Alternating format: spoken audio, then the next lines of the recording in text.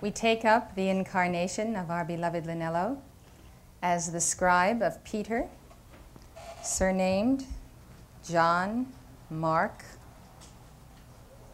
I like to think of the Santa Barbara Mother House as the house of Mark. We are delighted to receive the transfer of the great vision that Mark held in his heart of Jesus Christ. It is unique.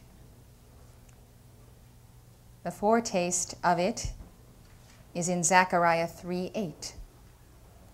Hear now, O Joshua the high priest, thou and thy fellows that sit before thee. For they are men wondered at. For behold, I will bring forth my servant the branch. The theme and the scope and the purpose of the work of the book of Mark are very evident by its contents. In the book of Mark, as in no other book, we see Jesus as the mighty worker rather than as the unique teacher.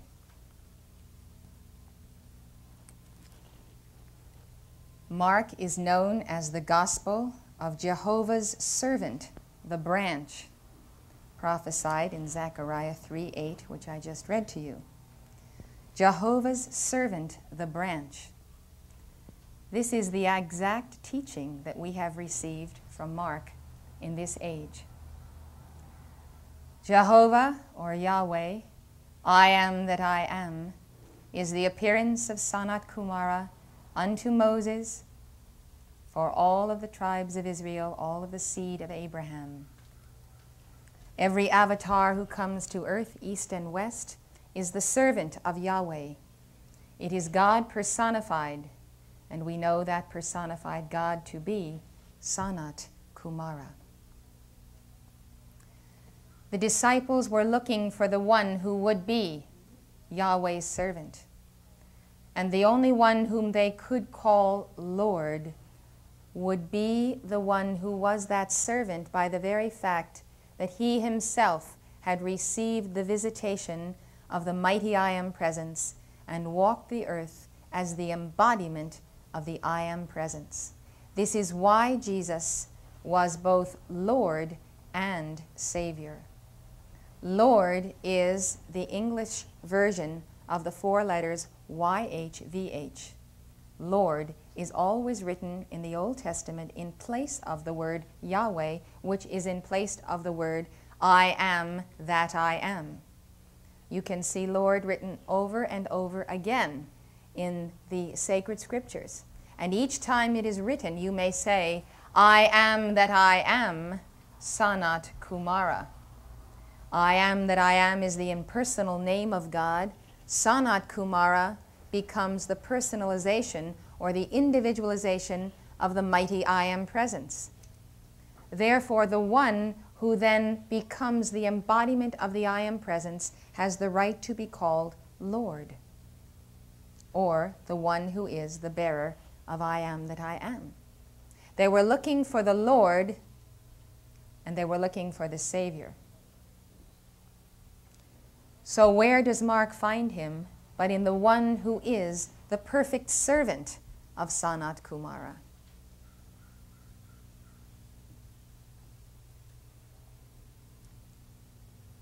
Jehovah's servant, the branch. The branch indicates the bough that extends from your I am presence. The branch of Jehovah is the personal Christ, hence the Son of God. His servant, the branch, Zechariah 3 8. It's important to know this. John Mark never met Jesus Christ. Perhaps he saw him at the Last Supper, which may have been held in his mother's home. He gained what he wrote from Peter, from Paul, and the other apostles. He was a scribe. He was a young boy when Jesus was finishing his mission. Mystically, through the very person and presence of Jesus Christ, as well as through the auras of Peter and Paul, he gained this insight. Jehovah's servant, the branch. The one who is Jehovah's servant because Christ, the branch, lives in him and he does incarnate the Word, I am that I am.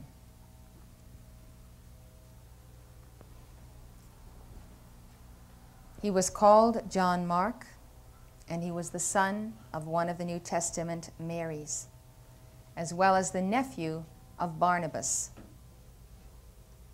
He was an associate of the apostles and is mentioned in the writings of Paul and of Luke. Luke in the book of Acts. And when he had considered the thing, he came to the house of Mary, the mother of John whose surname was Mark, where many were gathered together praying. That is in Acts 12. And Barnabas and Saul returned from Jerusalem when they had fulfilled their ministry, and took with them John, whose surname was Mark.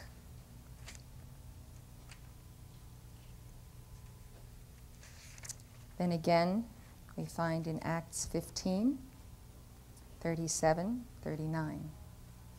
And some days after, Paul said unto Barnabas, Let us go again and visit our brethren in every city where we have preached the word of the Lord and see how they do. And Barnabas determined to take with them John, whose surname was Mark. But Paul thought not good to take him with them, who departed from them from Pamphylia and went not with them to the work.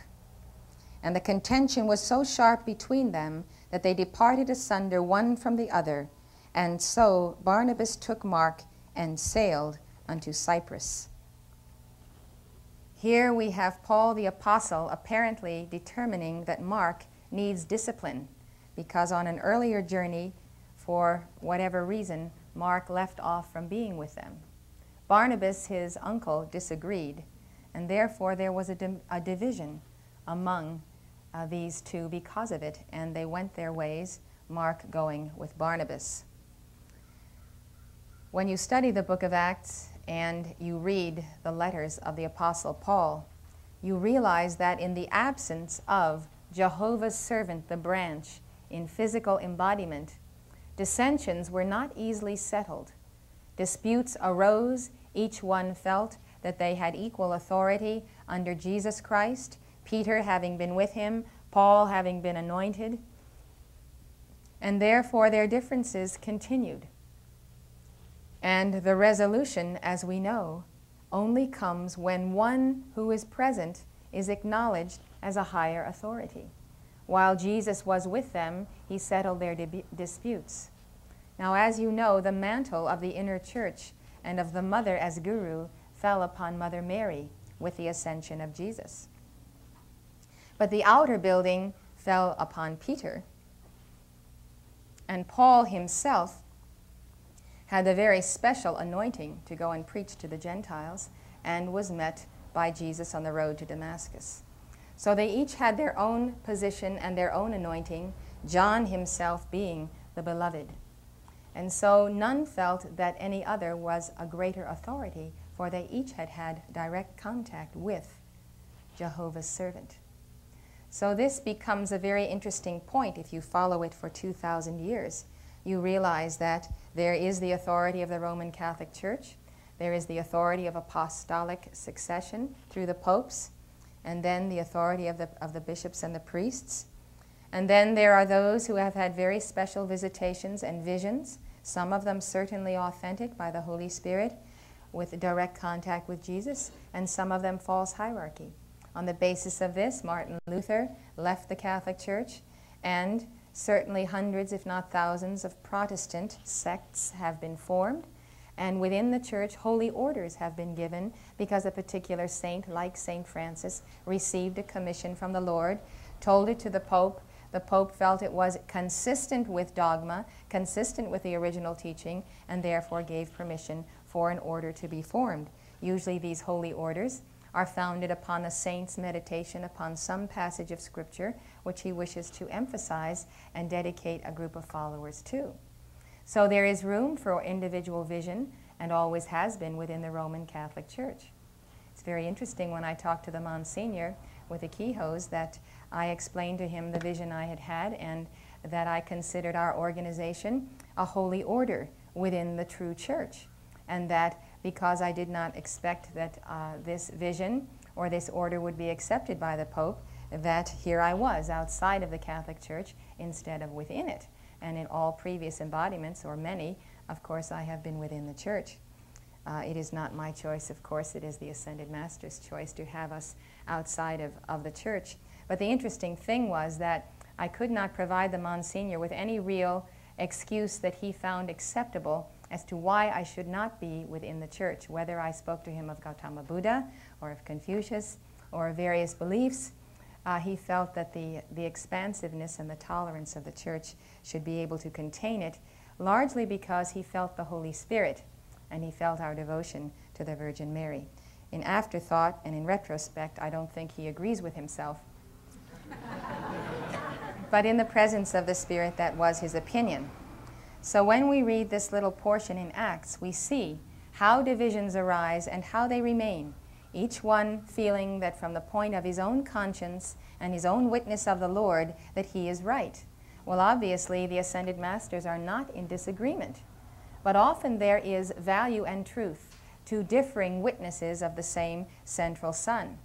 And if these cannot be harmonized by the living Word, by a messenger incarnate, then you have the fragmentation of the body of God, which is most unfortunate.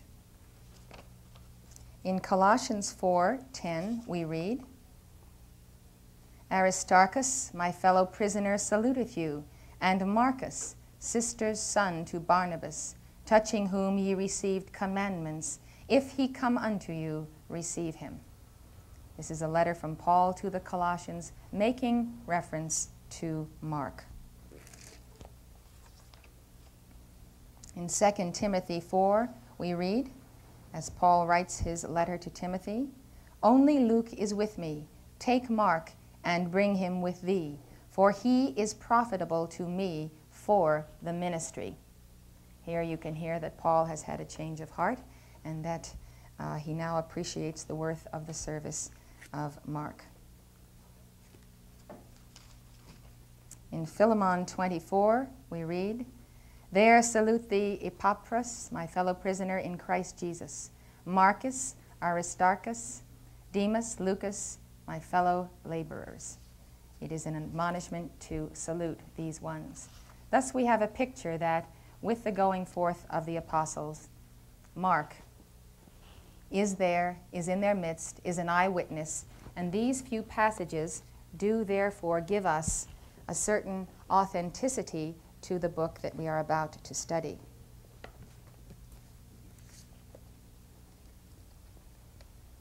As we will see, there is a great authenticity to this book. John Mark then was the son of one called Mary of Jerusalem. He is the companion and the scribe of the early missionaries. He is listed as the probable author of the Gospel of Deeds as we have said, this is the gospel that applies to the one who is servant more than any other role that Jesus Christ was. Whence comes the symbol of Mark, the evangelist, as a winged lion, the second living creature beheld by Ezekiel in his vision of the glory.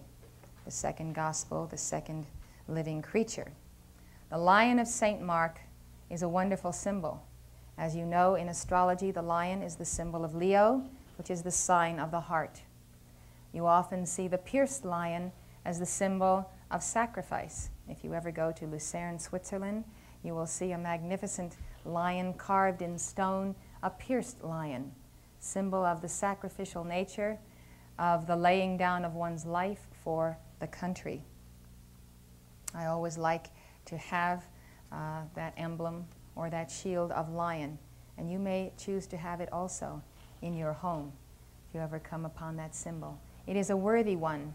And of course, we think of the roaring lion of our own beloved Mark, and that to him was a Buddhist exercise given to him by the Hindu by the name of El Morya Khan. So the lion is indeed a universal symbol of strength and self sacrifice and of the works of God.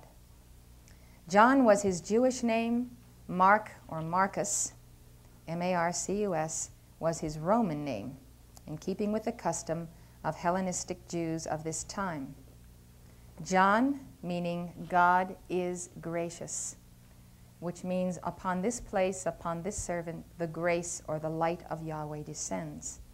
Marcus is from the Latin meaning a large hammer, which is truly the symbol of the hammering forth of the word.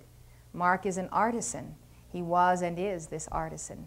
The hammering out of the word, himself in action, he perceives his Savior in action.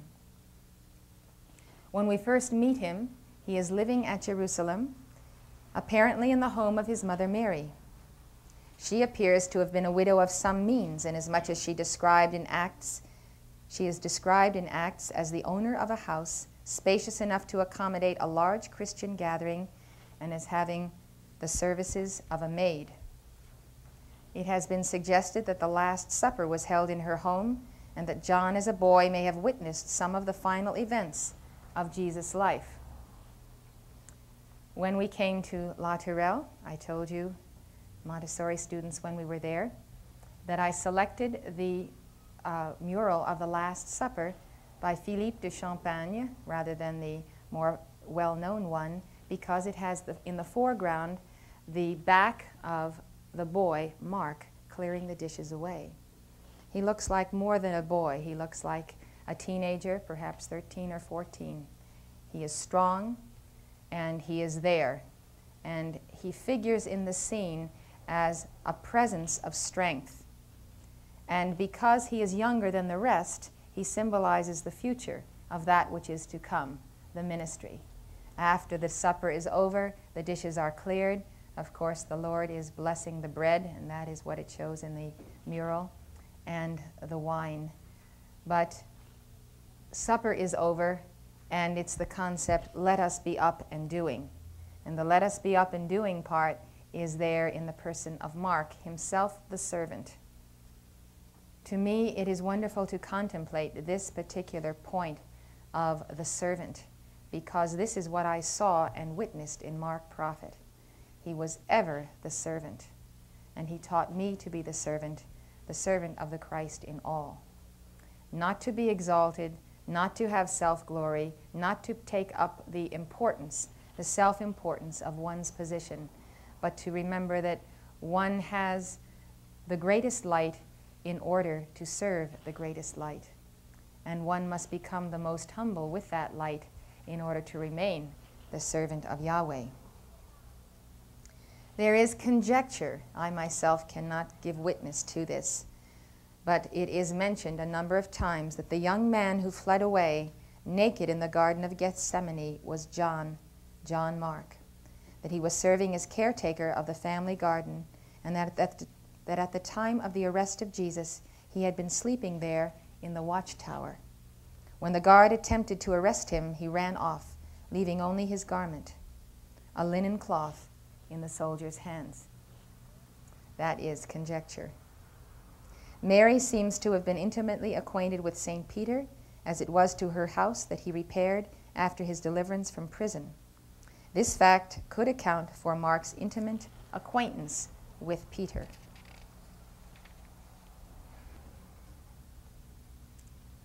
Now we have the record of John, John Mark in Acts. He was taken by them on their first missionary journey as an assistant. Barnabas and Paul arrived at Jerusalem to bring alms from the Christians in Antioch to the Christians in Judea during the famine of AD 45.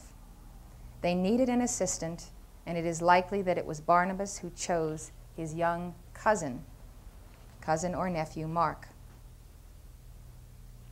We read the occasion when Paul is represented as instructing Timothy to bring him Mark, for he is very useful in serving me.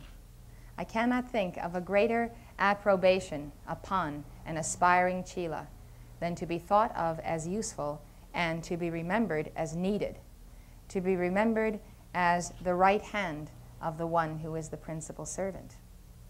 The person who can be the right hand of the one who is serving may very well be the one who is called ultimately to sit on the right hand of God.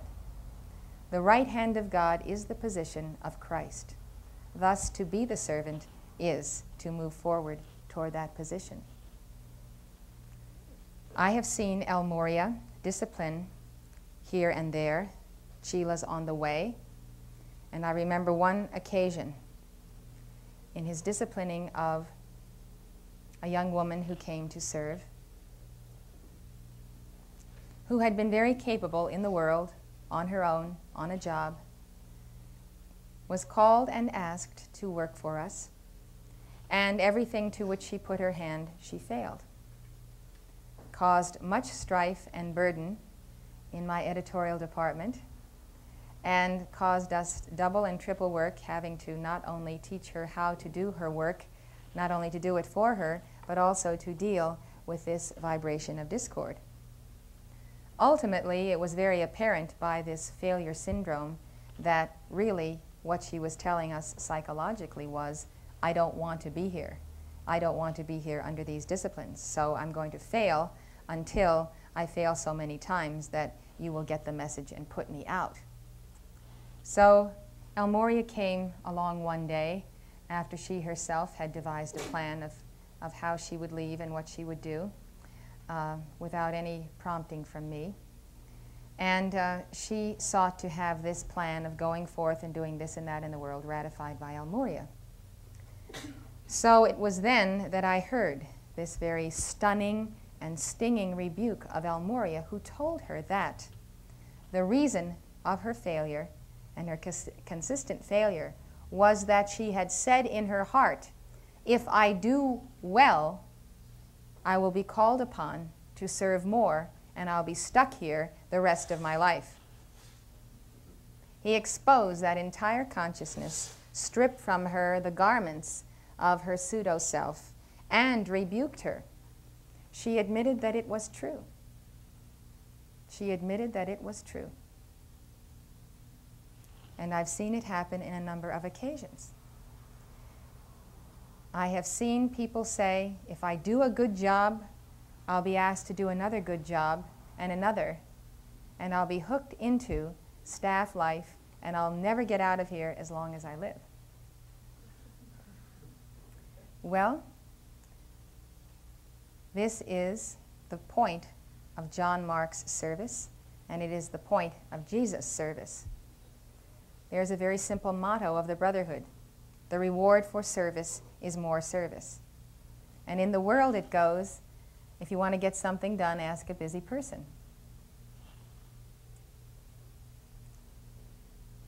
Service begets service, and you need to deal with this squarely when you meet Mark Prophet. Mark Prophet was honest, outspoken, more outspoken than you can even imagine, because he would speak out on the hidden things of the aura. He would speak to people of what was right there lurking beneath the surface.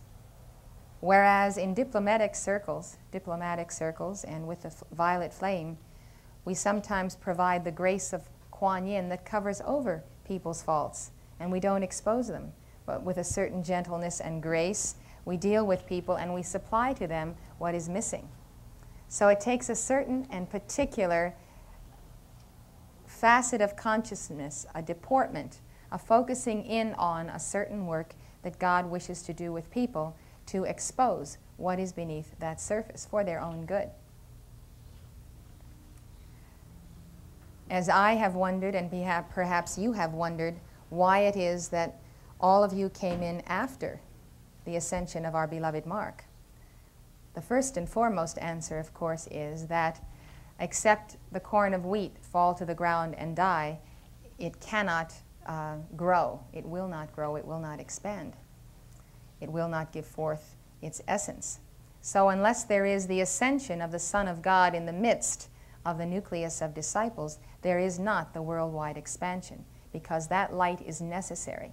It is absolutely essential and necessary for one Son of God and then many sons of God to take the ascension so that the fireworks of the descent of the Holy Spirit, all of those points of light, become seeds that will actually quicken hearts throughout the planetary body. This is why the mission of Jesus Christ began to expand the very day of Pentecost.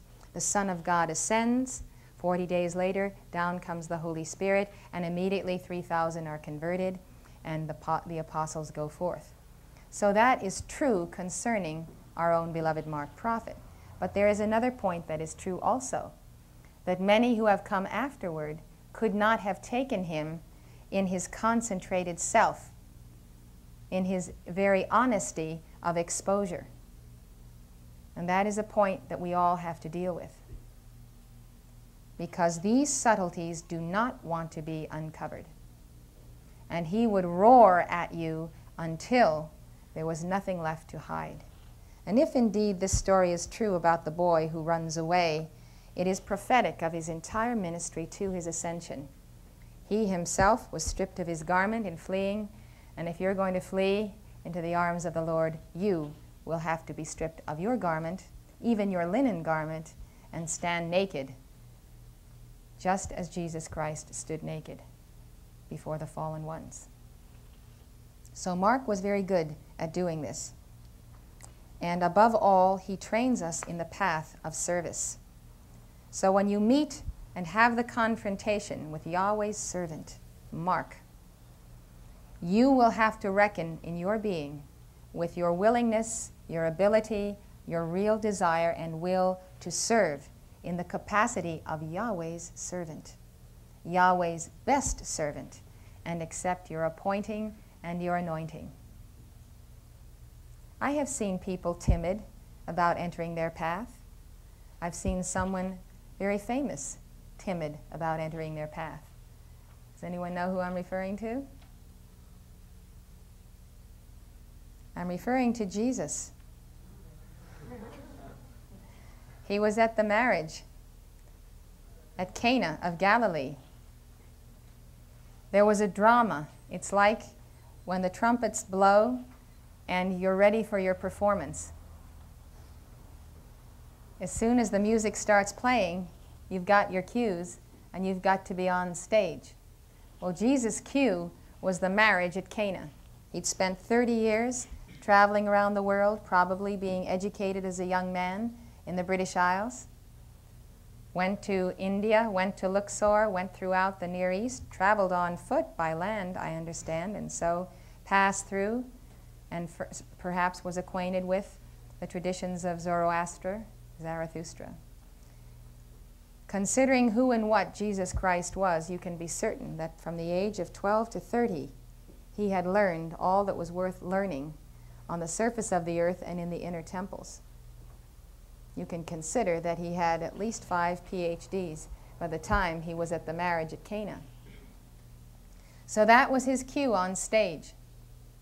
He knew it. He knew every event that would follow until his crucifixion.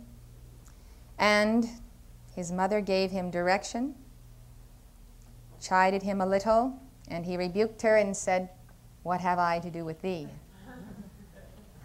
She calmly said to the people that were there, Whatever he tells you to do, do it.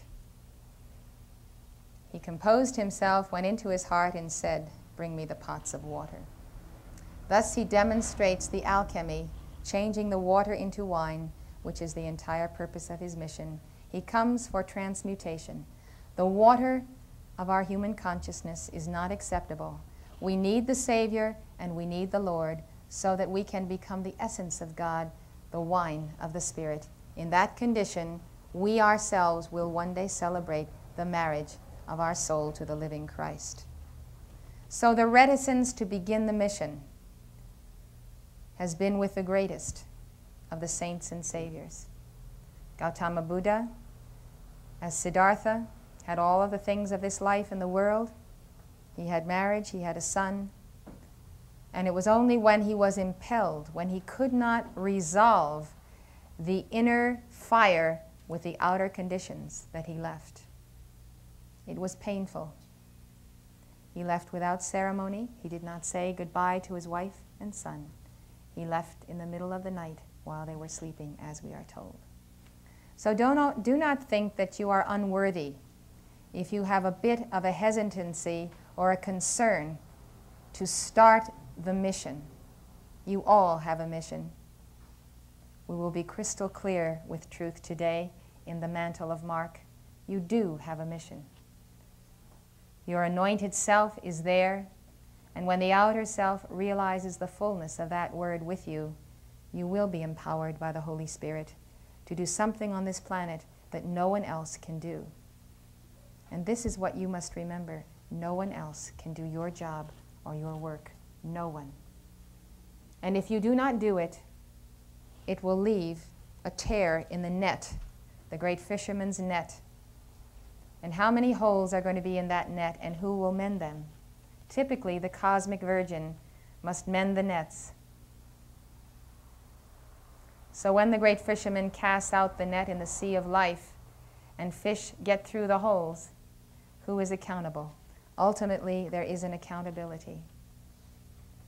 Some of you will minister to a few, some of you will minister to tens and hundreds, and others to thousands. All of you can minister through millions as you take your stand anywhere on earth, being a pillar of fire, doing your daily decrees, and embodying the teachings, giving forth that word. As you support the publishing arm of this movement, you have the good karma of serving millions. Service, then, is something we must be reckoned with. There is a time in our life, as Mark Prophet has told us in his excellent lecture, a time to be selfish so that later we can be generous. You need to understand that part of your life. A time to go and get educated as Jesus did. We can say he was selfish for 30 years so he could be generous for three. That is placing one's attention on the great God self, on one's inner self, and developing that self. There's no point going forth on a mission with nothing to give, with no selfhood defined. We must take care that we do not pursue self centered interests for the sake of the self. We pursue self centered interests to the glory of God ultimately. But we are wise. We understand with Ecclesiastes there's a time to sow, there's a time for the crops to germinate in the summer, there's a time for a harvest, and there's a time for latency. So, understanding the cycles of life, you work and you work hard to prepare yourself. And it is always the sense of preparing oneself to be ready when called when you are going to be called to be ready. So you never know when you are ready. Only God decides when we are ready. Some people think they're ready ahead of time because they're very eager and they're like fools who rush in where angels fear to tread. They think they can just march right out and convert the world. Then there are others who think they are never ready they can study and learn and prepare, and they may be 50 and they still think they're not quite ready for their mission. So God decides. Jesus decided when Mark Prophet was ready in this life. He decided when John Mark was ready in that life, and so on. And you know the discussion which Mark tells us about that he had with Jesus, listing and enumerating to Jesus how he was not prepared, not tutored, not this and not that. And the simple answer Jesus gave him which was certainly one not calculated to puff up his pride. He said, Well, if I waited till you were perfect, it would be all over. so he let him go on in his own sense of imperfection to keep him striving, but he let him know he needed him now, and his preparation at the present moment was adequate. So I kind of think that we're all adequate to do something. And you, you sense that feeling of adequacy next to the inadequacy of people who have nothing. When you have a garment, you have something to give. If you have a single coat, you can give it away. If you know a, a certain portion of the teaching, go ahead and teach it to someone. Because whoever doesn't know it, that makes you the guru and then the chela, right? So there's always a teacher and a pupil relationship, and sometimes the roles immediately reverse, and the person you just told the story to turns right around and tells you something you didn't know.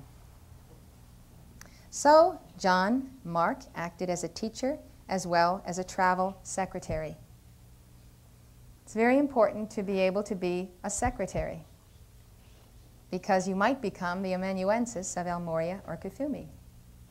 When I was preparing and very much in the full burning in my heart of the preparation that I would need for whatever I was to do, which I did not know when I was in school, I was called to study political science, history, and economics and languages. But I also felt that I had to become a good secretary. And I was in college and I had uh, plenty to do, and my advisors kept saying to me, What in the world do you want to become a secretary for?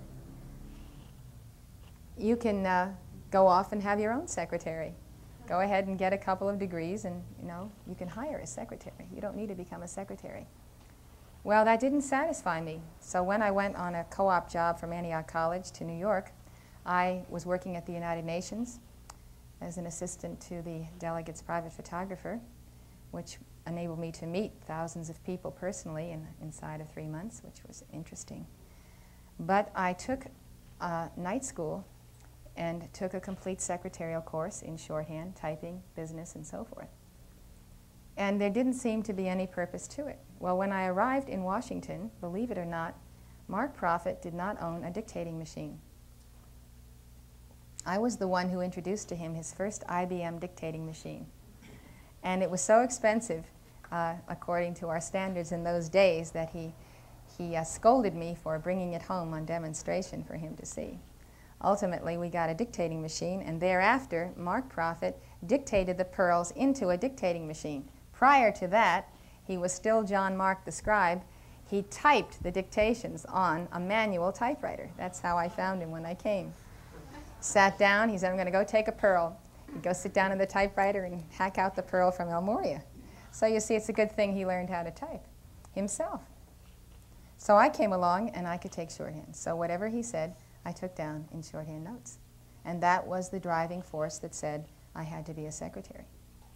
So that is a very important process because there are things that you hear and will keep on record that no one will ever have. Uh, in the course of your travels, in the course of your work, as you go stumping, events happen, people are converted. As you write down your account, it becomes part of the body of literature for the Aquarian age of what happened in those first years when the first dispensation went forth of the Aquarian age. We have four Gospels today, and some ap apocryphal material that is not necessarily accepted. But, but the a volume of Christian literature giving accounts of the period is really quite scarce. Today there is no need for it to be scarce. What there is a need for is it to be accurate.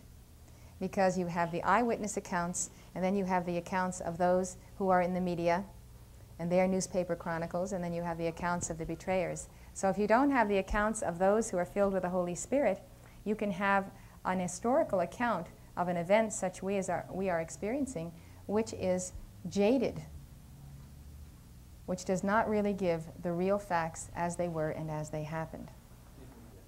John Mark, then, was a secretary. If you want to pick up the mantle of each of the incarnations of Lanello, you cannot overlook this. He did menial tasks cleared tables, washed dishes, took care of the clothes of the apostles, did all the little details that enabled them to get up and speak. It's very important training. Some people think, well, I don't have time to do that. I'm going to go out and do this and that and do something important. But those little steps are like the steps of Montessori school. They're the building blocks, they're the foundation. They give you the confidence, all the while you are receiving the mantle of the one who has gone before you. At Perga in Pamphylia, when they were about to enter upon the more arduous part of their mission, Mark, as I told you, left the apostles, and for some unexplained reason returned to Jerusalem to his mother and to his home. It was then that we read the passage from Acts. In AD 51, Barnabas and Paul resolved to set out on a second mission and journey. On this occasion, Paul resolutely declined to associate himself again with one, quote, who departed from them from Pamphylia and went not with them to the work.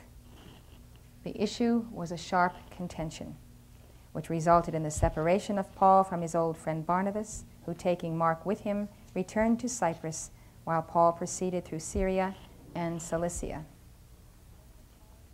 Whatever the cause of Mark's vacillation, if indeed it was vacillation, it did not lead to a final separation between him and Paul.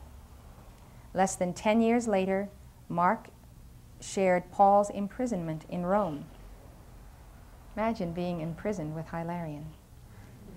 AD 61 to 63, and he is acknowledged by Paul as one of his few fellow laborers unto the kingdom of God, who had been a comfort to him during the weary hours of his imprisonment.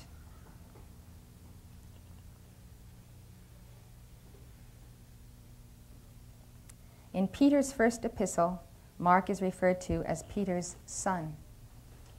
The phrase, my son, offers evidence of close attachment between Peter and Mark.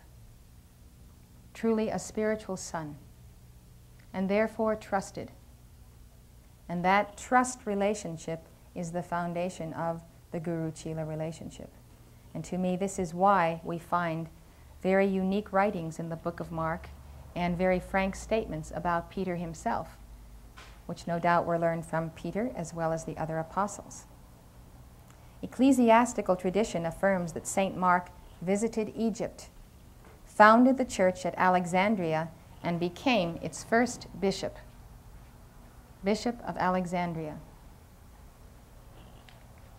You'll recall that in the early centuries, Hypatia was also in Alexandria and occupied the philosopher's chair, inheriting that from her father. This was one of my own incarnations. It was the Christian monks who murdered Hypatia. And here was Mark, the bishop of Alexandria. So, for the reason of the descent of our twin flames in Egypt, Akhenaten and Nefertiti, and so forth, there we were positioned again in the early centuries for the reason of the Temple of Luxor, for the reason of the Ascension Temple. It's very interesting, the, the garments that we wear. You received a dictation that stated that your counterparts could be found inside of Russia. You may find out one day that your twin flame is in Russia or in Red China today, and that you are holding the flame of light on opposite sides of the spectrum. I would not say this if it were not true, because it, were not, it is not in my heart to deliver it to you. So it comes from the I Am Presence and from Lanello, and it applies to you personally, some of you who are gathered here. And if you feel a certain fervor in your being to study Russian or to work with Russian people, it may be that you feel that calling for the liberation of souls and ultimately for the union with that flame. This is why it's very important to trust your heart and your soul and something that keeps on coming back to you. When it comes back again and again in odd situations or when you're meditating or you find yourself somewhere and again there's this gnawing inside of you to take a journey somewhere, to do this, to do that. You find that life is a succession of crossroads. And if you follow the leadings of the inner voice, and follow them meticulously, you will take the next step in your path. Now, God does not allow our personal disobedience to ultimately take us from our mission, but sometimes we delay ourselves.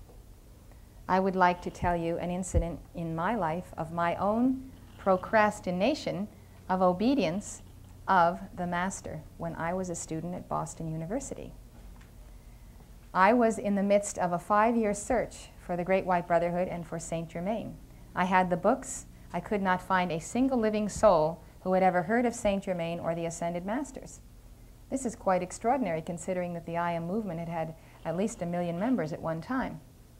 The extraordinary thing, of course, is that Saint Germain did not want me to meet any student of the Ascended Masters or affiliate with any organization because he wanted me to get to Mark first and not to any other activity and get lost in that activity and never come out of it.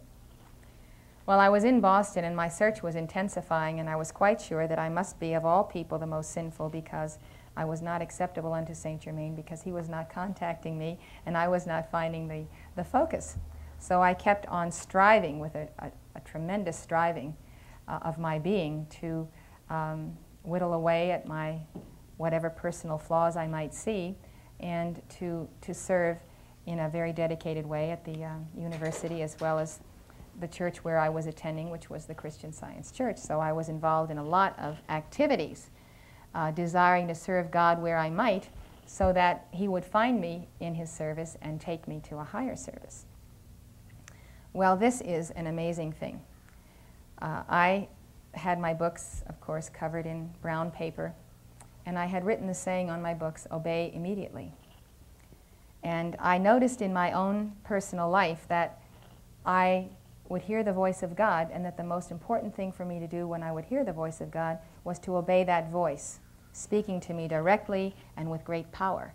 Because each time I would obey the voice of God and do something, it would be a key leading me to another situation and another situation where ultimately I was putting on the mantle of the Lord. I was expanding consciousness. I was meeting people. I was learning things. I was studying. Each time I would be obedient, another door would, would open. So I thought if doors open when you obey God, then you ought to obey immediately. So I decided that was the biggest thing I had to learn. So in spite of the fact that I had this written all over my book so that I would have to have my eyes rest on it no matter to what class I was going, I would go down a certain street and come around a certain corner and I would have to hop in the subway to get to BU to attend my classes. And so every time I was passing that corner, I was in a hurry because I just allowed myself the exact amount of time and no more uh, to get out of bed in the morning and be on time to my first class. And so every time I would get to this door, I would get the prompting, go inside. And I'd look inside that door, and it was kind of a dingy, dingy old place. And uh, there was just a hallway and an elevator. And uh, it, was an, it was an old business building, and it had a list on the, on the, uh, near the elevator of the offices that were upstairs. So I said, okay, one of these days I'll go in. But I didn't go in. Because every day I would be charging around the corner, down the, uh, down the subway, and, and off to school. So I never actually went in that door. Can you believe this? I never went in the door. Well, quite some time later, when, by a, a great roundabout way, I finally found the group of students of the Ascended Masters in Boston, and Mark Prophet was coming to speak and I uh, was going to go and hear him speak. Uh, I had already been to their little sanctuary where they were holding their meetings uh, after I had found them. And it was actually, I think it was at least a year later uh, that, that uh, I had to wait a whole other year because of this. Um, the first time I went to the place, I followed the address and I went there. And you guessed it, it was in that door. and I walked in the door of that building that I had passed, so many times. And on that roster of names uh, by the elevator, it said, Ascended Master Sanctuary. so I would have walked in and read the thing and probably camped there until somebody arrived and found uh, the students of the Ascended Masters a year earlier. And that next year, is very interesting. I had to go through a, a, a very particular karmic situation and uh, later, Saint Germain told me that if I had not gone through that karmic situation, I could not have been trained to be a messenger, that it was a certain karma that I had to balance. And he also told me through Mark that uh, I was not scheduled to come into the activity or to be trained for another nine years. Nine whole years after I found Mark. I found Mark when I was about 22. And so uh, the demanding and the searching and the calling out to God and the making of the commitment to God, I will serve you, come and get me, Saint Germain, precipitated that earlier meeting along with the necessities of Mark's own life, the divine plan of the United States, and ultimately the necessity for him to take his ascension. So we find in that set of experiences karma, the necessity of karma being balanced before one can enter upon one's mission.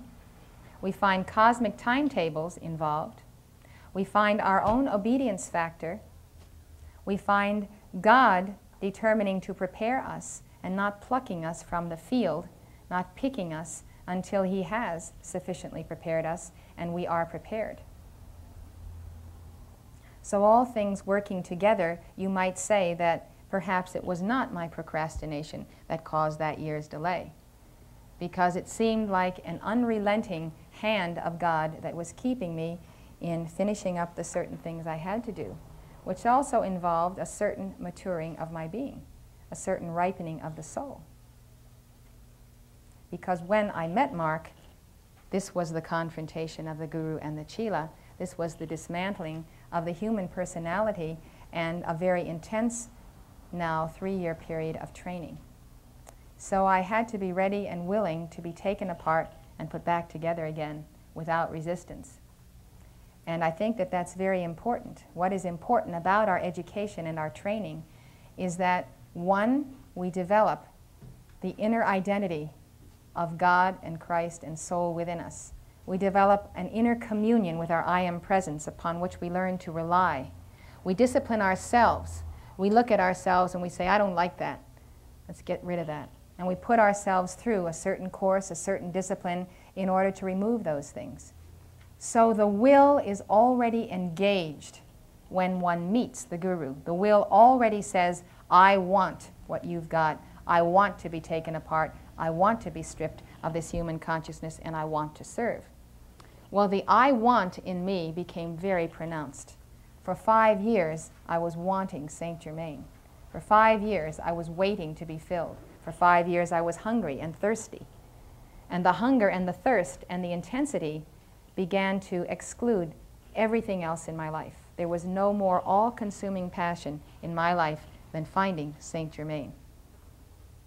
So the ingredients were there the rolling momentum of self discipline the internalization of God, the will to do whatever God required, a certain world awareness that saw the burden of the planet and said, I have to do something about it.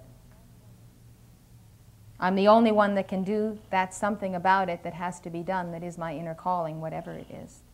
And finally, the willingness to receive a teacher. The willingness to receive Mark Prophet in whatever way he was going to dish out whatever it was that he was going to dish out. So I suddenly was taken up to be his companion and secretary, disciple, and one who would be trained to be a messenger. So I was with him constantly, and basically with no one else, as I left Boston and I went forth for this. And it demanded everything I had of, of my earlier life, of my self discipline to meet that standard and to meet it so suddenly. All of a sudden being told, you must be trained, you are going to be the messenger, you have to shape up, you have to transmute your human karma, you've got to kick out the, the residual substance of the human ego. There was no time. El Morya and Mark made this very emphatic.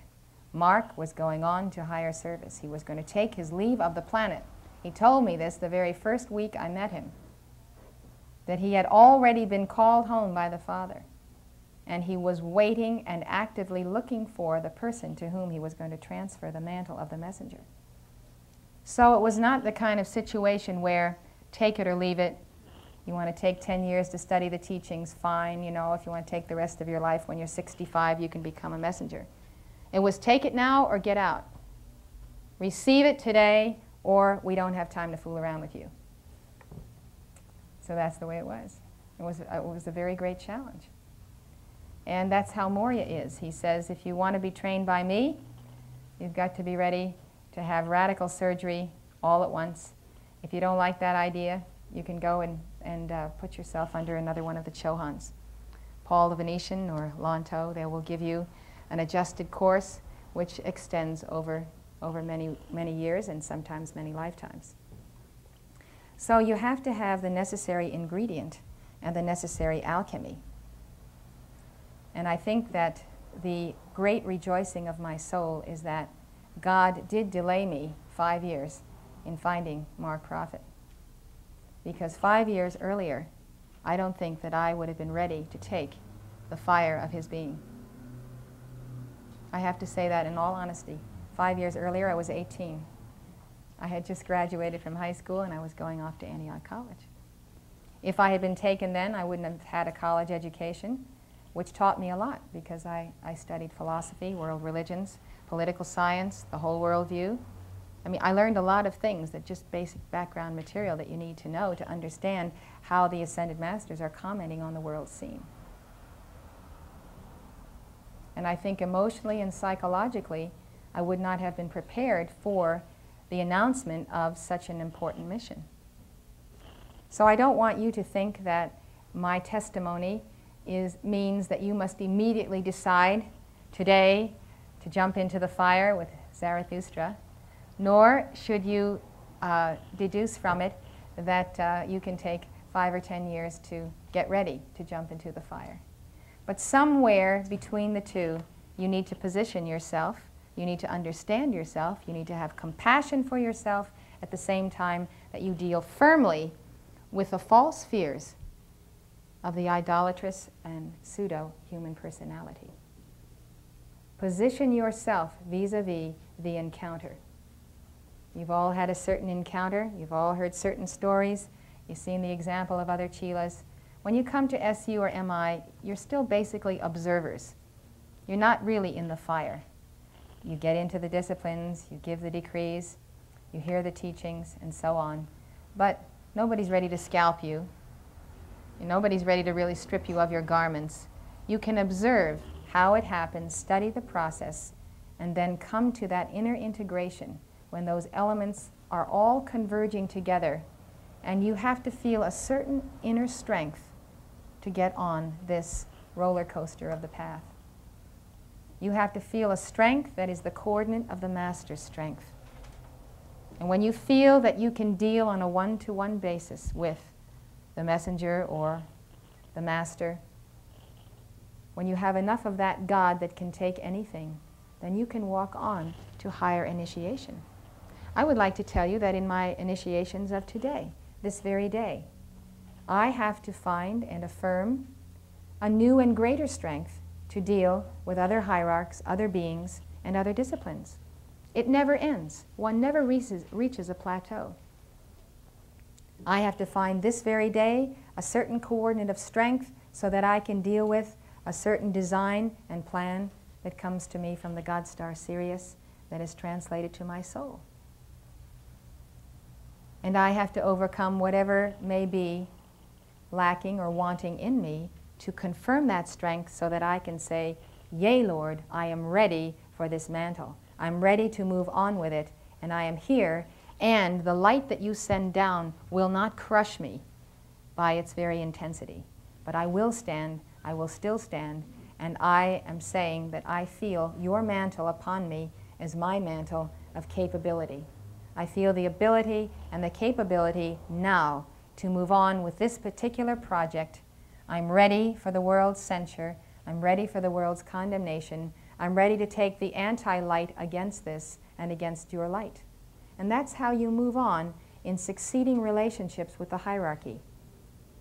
Starting with Mark Prophet is starting with a master, a wonderful father, a wonderful friend, the great lover of your soul, a very, very compassionate heart, but someone who is not going to indulge your human nonsense.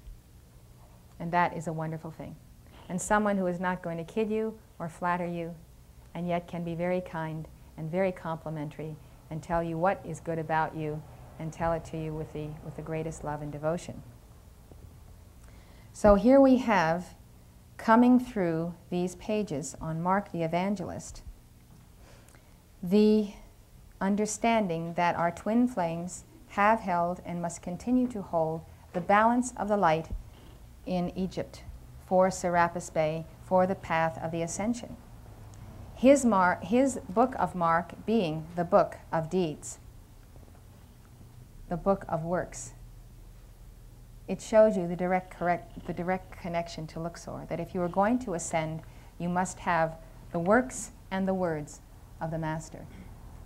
Inherent in this whole understanding is you can become the servant of Yahweh as Jesus was if you will follow in his footsteps.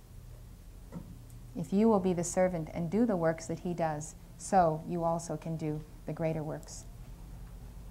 So, Mark, above all people, is giving you in his gospel the path of the ascension by not making Jesus so far removed from yourself. He is the one who sets the example of works.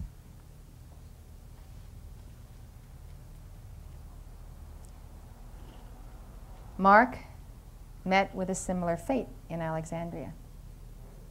Similar fate to Hypatia. The heathens in Alexandria called him a magician. Now, Hypatia was killed by fundamentalist Christians. Mark was killed by the heathens. I guess Aesop's moral of the story is if you can't beat them, join them.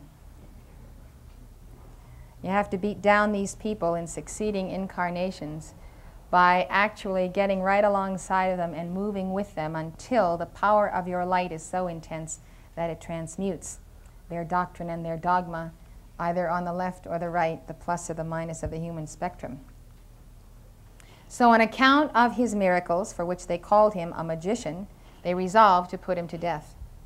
At last, on the pagan feast of the idol Serapis, the idol Serapis, it was a massive statue of Serapis there, of which we have, uh, I believe we have a, a picture. Some that were employed to discover the holy man found him offering to God the prayer of the oblation or the Mass.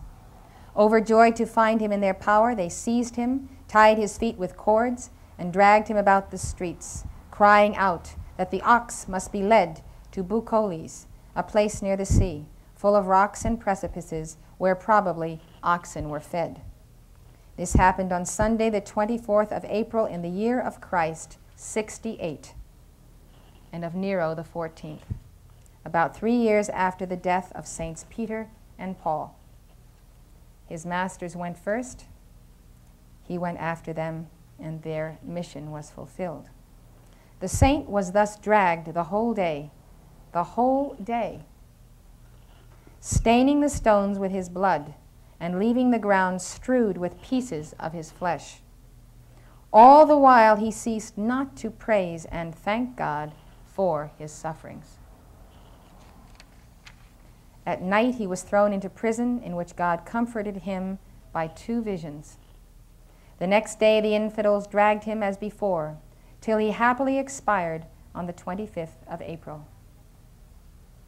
The Christians gathered up the remains of his mangled body and buried them at Bucolis, where they afterward usually assembled for prayer. I hope that when you remember the Lion of St. Mark, and as you study his book and live your life, you will be able to thank God and praise him for sufferings less than these, that you will be bear, able to bear all things in the true spirit of Christ, as the saints and the martyrs have always done. You know how we complain because of this and that? Some little inconvenience in our service, something that doesn't work right, car breaks down and people get inharmonious and they complain. We need to praise and thank God for his testings of our soul immediately, right then and there when they happen. It needs to be a habit, and it's a habit of Leo, the lion, God gratitude of the heart, gratefulness that we are tried and strengthened. God has to strengthen you. He cannot leave you in a state where everything is done for you, everything works out perfectly. You'll be flabby, you don't have any muscles, you don't have any drive of your mind to have to figure out solutions to life. God has to leave us in difficult situations so we can be strengthened. So when He wants to give us a mantle from Sirius or from Morya, that we have the inner strength to be the coordinate of it.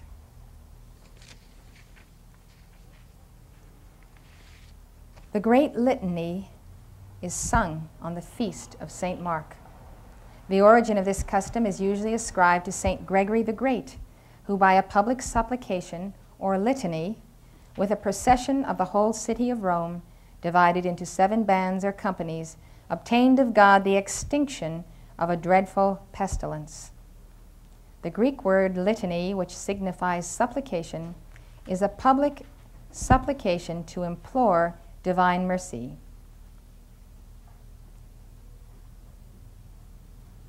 Kyrie eleison, Lord, have mercy.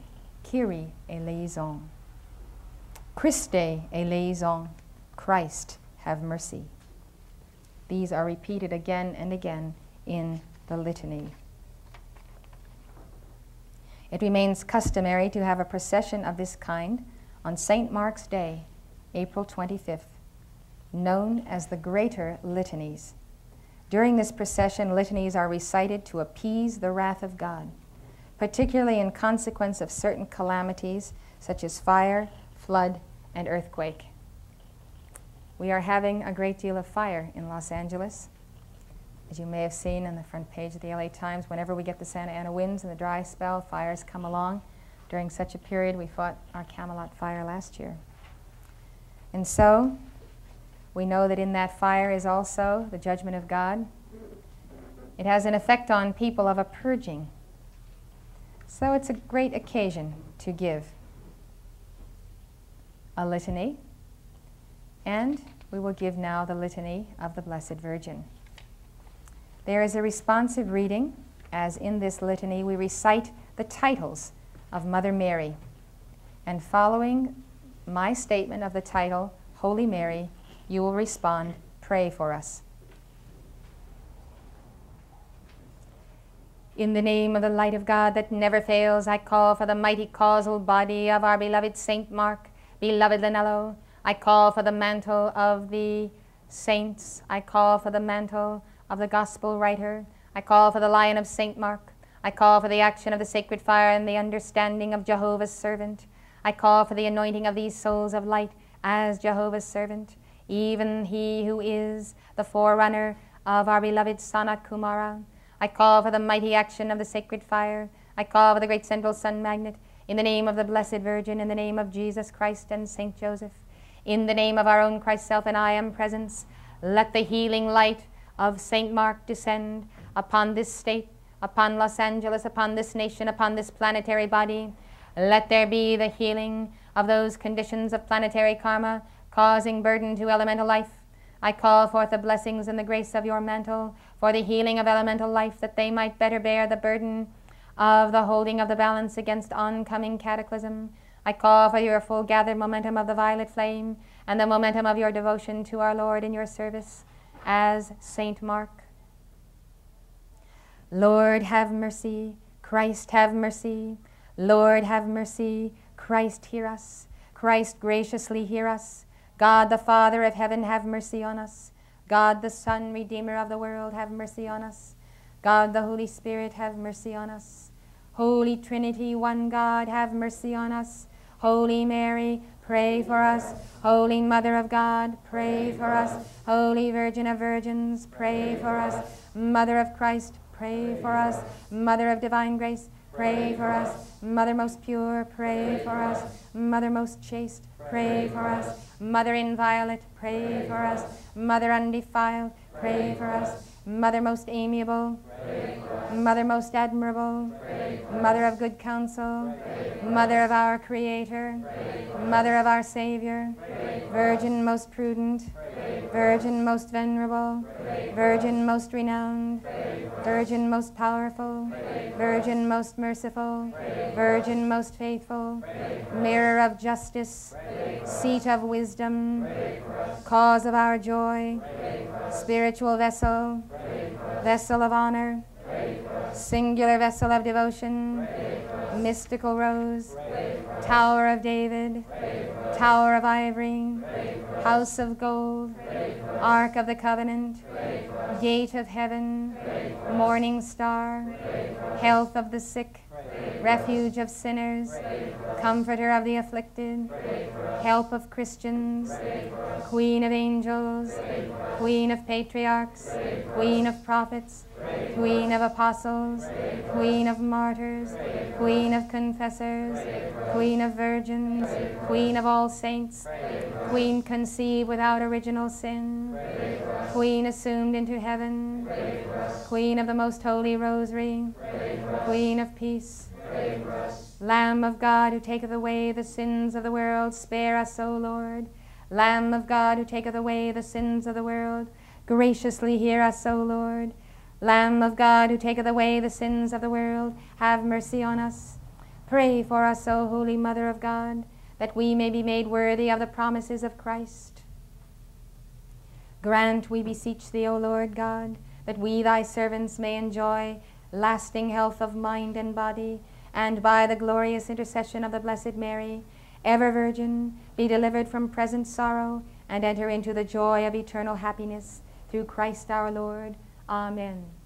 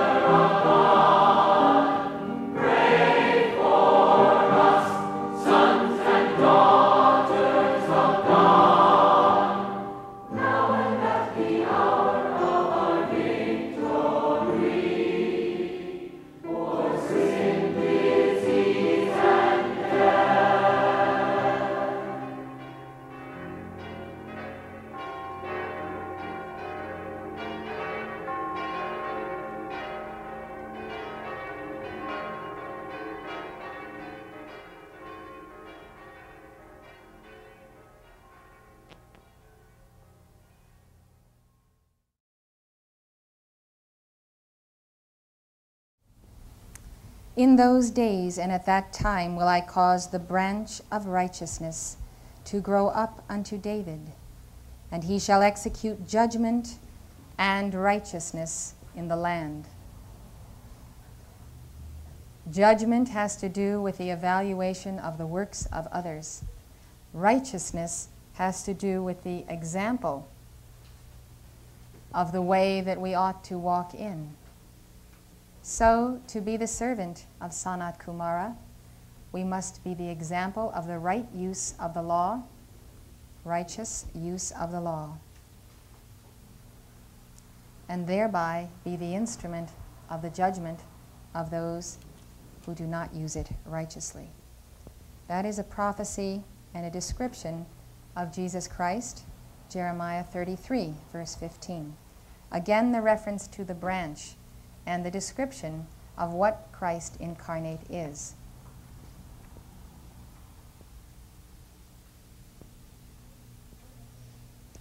Everywhere in the book of Mark, we find that the servant character of the incarnate Son is manifest. The key verse is Mark 10 45. For even the Son of Man came not to be ministered unto, but to minister. To minister, not to be ministered unto. The characteristic word is straightway, a servant's word. There is no genealogy in the book of Mark tracing back the ancestors of Jesus Christ. For who would give the genealogy of a servant? In other words, Mark does not consider it important what the human lineage and descent of Jesus Christ is. He is not trying to prove that he is Almighty God incarnate, and if he is trying to prove it, he has sense enough to know that you don't prove it by human genealogy in the first place. He establishes him as a servant. Therefore, you will notice the book of Mark, contrasting the book of Matthew, begins with the going before the face of Jesus, of John the Baptist, then the baptism of Jesus, and before you are through the first chapter of Mark, you are with Jesus in the wilderness being tempted of the devil. So the work is right there. Being tempted of the devil is a mighty work. To overcome the works of the devil is the purpose for which he is come. Not only to work for God as his servant, but to undo the unrighteous works of the fallen ones. So Mark begins with a mission he leaves to others to account for his birth in Bethlehem and his early years. But this lowly servant, according to Mark, who emptied himself of the form of God and was found in fashion as a man, was nevertheless the mighty God and Mark knew he was the mighty God, as he is prophesied in Isaiah 9 6. For unto us a child is born, unto us a son is given, and the government shall be upon his shoulder, and his name shall be called Wonderful, Counselor, the Mighty God, the Everlasting Father, the Prince of Peace. Therefore, Mark opens chapter 1 of his gospel with these words The beginning of the gospel of Jesus Christ, the Son of God. He positions him right there. And according to theology, even the theology of Origen, who followed with the interpretation of Mark, the Son of God is equal to God the Father. So he saw him as God yet he understood his role as servant. Because he is the Son of God, Mark proves in his gospel that mighty works accompanied and authentic- authenticated the mission and the ministry of Jesus Christ.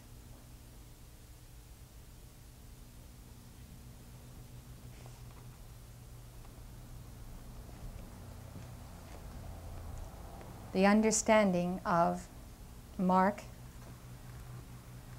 of Christ as this servant of Jehovah, we find in the book of Isaiah, chapter 42.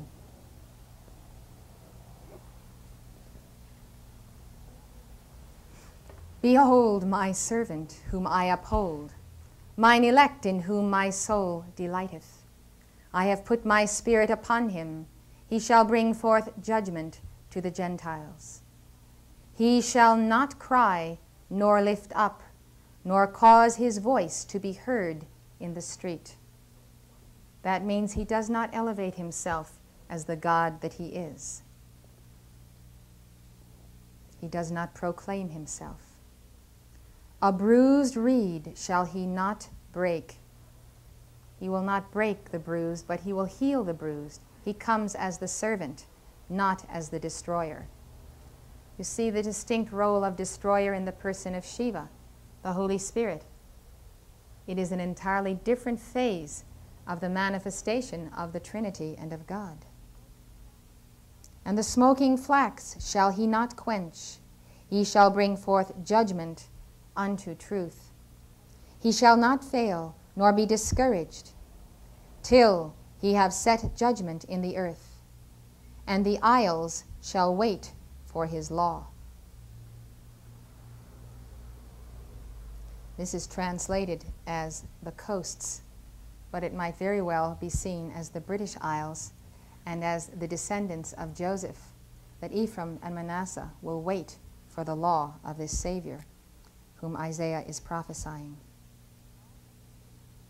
The mark of the servant of God is that he is not discouraged. Discouragement can destroy your mission, destroy your life and your very soul. Aside from belittlement, the chief tool of the fallen ones is the projection of discouragement. That you're not getting anywhere, that you're not making any progress, and that what you are doing is really not amounting to anything anyway. It's not really helping anybody. It's not helping God or His kingdom. And of course, it is the denial of God where you are. So if you are really the servant's son and you know God is in you, discouragement does not even exist as a concept, a word, or a vibration. You do need to guard against it. This is the definition of you, the servant. Thus saith God the Lord, He that created the heavens and stretched them out he that spread forth the earth, and that which cometh out of it, he that giveth breath unto the people upon it, and spirit to them that walk therein. I, the Lord, have called thee in righteousness, and will hold thine hand, and will keep thee, and give thee for a covenant of the people, for a light of the Gentiles. This is the definition of the servant of Jehovah. I have called you in the path of the right use of the law I will hold your hand, you who are servant and would be servant. I will keep you. I will give you for a covenant of the people. In you will be found the light, the mediator between myself and my people. Through you, they will come to know me. Through you, the law will be fulfilled in them. For a light of the Gentiles, even a light to those who are not of the seed and the descent of Abraham, or those tribes who have gone out in the way of the Gentiles. To open the blind eyes. I am giving you, my servant, to open the eyes of my people. Will you do it? Yes. Just wanted to see if you were with me here. You I will give you to bring out the prisoners from the prison, and them that sit in darkness out of the prison house. In other words, I am not bestowing upon you the light of the only begotten. I am not endowing you with my God flame for your glory or even for my glory. I am sending you as the servant because I want certain things accomplished. I want works. I want you to do these things. There are conditions on earth that need the light. I am giving you that light not because you're a favorite son or because I in some way want to show that you are great and have greatness. I am giving you light because others need that light. We need to remember that when we bask in the light of the dictations and are absolutely suffused with the glow of the teaching, that we were not just plucked out from millions of people to sit there and enjoy the feast of God. We partake of the feast and we go out and we have work to do. There are prisoners in prison to their own bondage of human consciousness. I give you light to go and set them free. So there's a condition. It's like a, a loan from the cosmic bank. I am giving you a quantity of light, but there are things that I expect you to do with this light. You must return back to me with that light multiplied, having performed its service. So there is a contract, and the Christ in us is the very contract itself. So let us take heed when we are given so great a gift as the teachings of the ascended masters that we realize it is for a cosmic purpose. I am the Lord. That is my name. And here L O R D in cap. I am the I am who I am, Sanat Kumara. That is my name. And my glory will I not give to another, neither my praise to graven images. Behold, the former things are come to pass, and new things do I declare. Before they spring forth, I tell you of them. Sing unto the Lord a new song, and his praise from the end of the earth, ye that go down to the sea and all that is therein, the isles and the inhabitants thereof. Sing the new song of the, of the dynamic decree, you who with Christ, the servant, go down into the astral plane while he is crucified during the period of the Easter Passion. You who go down to the astral plane and all that is in that astral plane in the cities of the world, sing the new song, the science of the spoken word the isles and the inhabitants thereof. Let the wilderness and the cities thereof lift up their voice, the villages that Kedar doth inhabit. Let the inhabitants of the rock sing. Let them shout from the top of the mountains. Those who are the inhabitants of the rock are those in whom the threefold flame dwells. Let them sing. They are the ones you are going after. They must hear the word. They must understand this message. Let them shout from the top of the mountain of their I am presence. Let them make that attunement. Let their cry go forth. Let their call go forth. Let the earth be translated through you, through them. Let them give glory unto the Lord. I am that I am Sanat Kumara, and declare his praise in the islands. Repeat it again and again, the islands. Go after the descent of Joseph, Ephraim, and Manasseh. The Lord shall go forth as a mighty man. The Lord shall go forth as a mighty man. In other words, he's not going forth as a spirit, he's going in you. Christ in you is a mighty man. He shall stir up jealousy like a man of war. Where you go, believe me, you stir up jealousy. You have too much light for those who have it not. They are envious. They will covet your possessions, everything you have. He shall stir up jealousy like a man of war. He shall cry, yea, roar. He shall prevail against his enemies. You will prevail against the enemies in your temple. You will prevail. It is prophesied. The I am presence has declared it. You will prevail in Christ against your enemies. Enter into this spiral, and it is done. Enter into the free will surrender to your mission, and you will prevail over the enemies of the light. It is written, it is promised. Mark knew it. Jesus knew it. The gospel of deeds proclaims it. The whole gospel is about Jesus prevailing over his enemies. I have long time holden my peace. I have been still and refrained myself. Now will I cry like a travailing woman. I will destroy and devour at once. I will make waste mountains and hills of Karma, and dry up all their herbs, and I will make the rivers islands, and I will dry up the pools. And I will bring the blind by a way they knew not.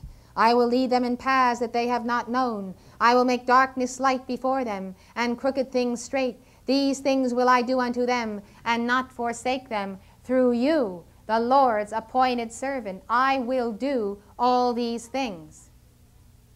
Who are you wandering around to find out your divine plan and your mission? It's written in Isaiah. Read it. God says, I have remained silent. I have held my peace. That's the sealing of the white fire core of the atom of your I am presence. It remains sealed when the fervor of your love and devotion rises like a fire and heats that atom.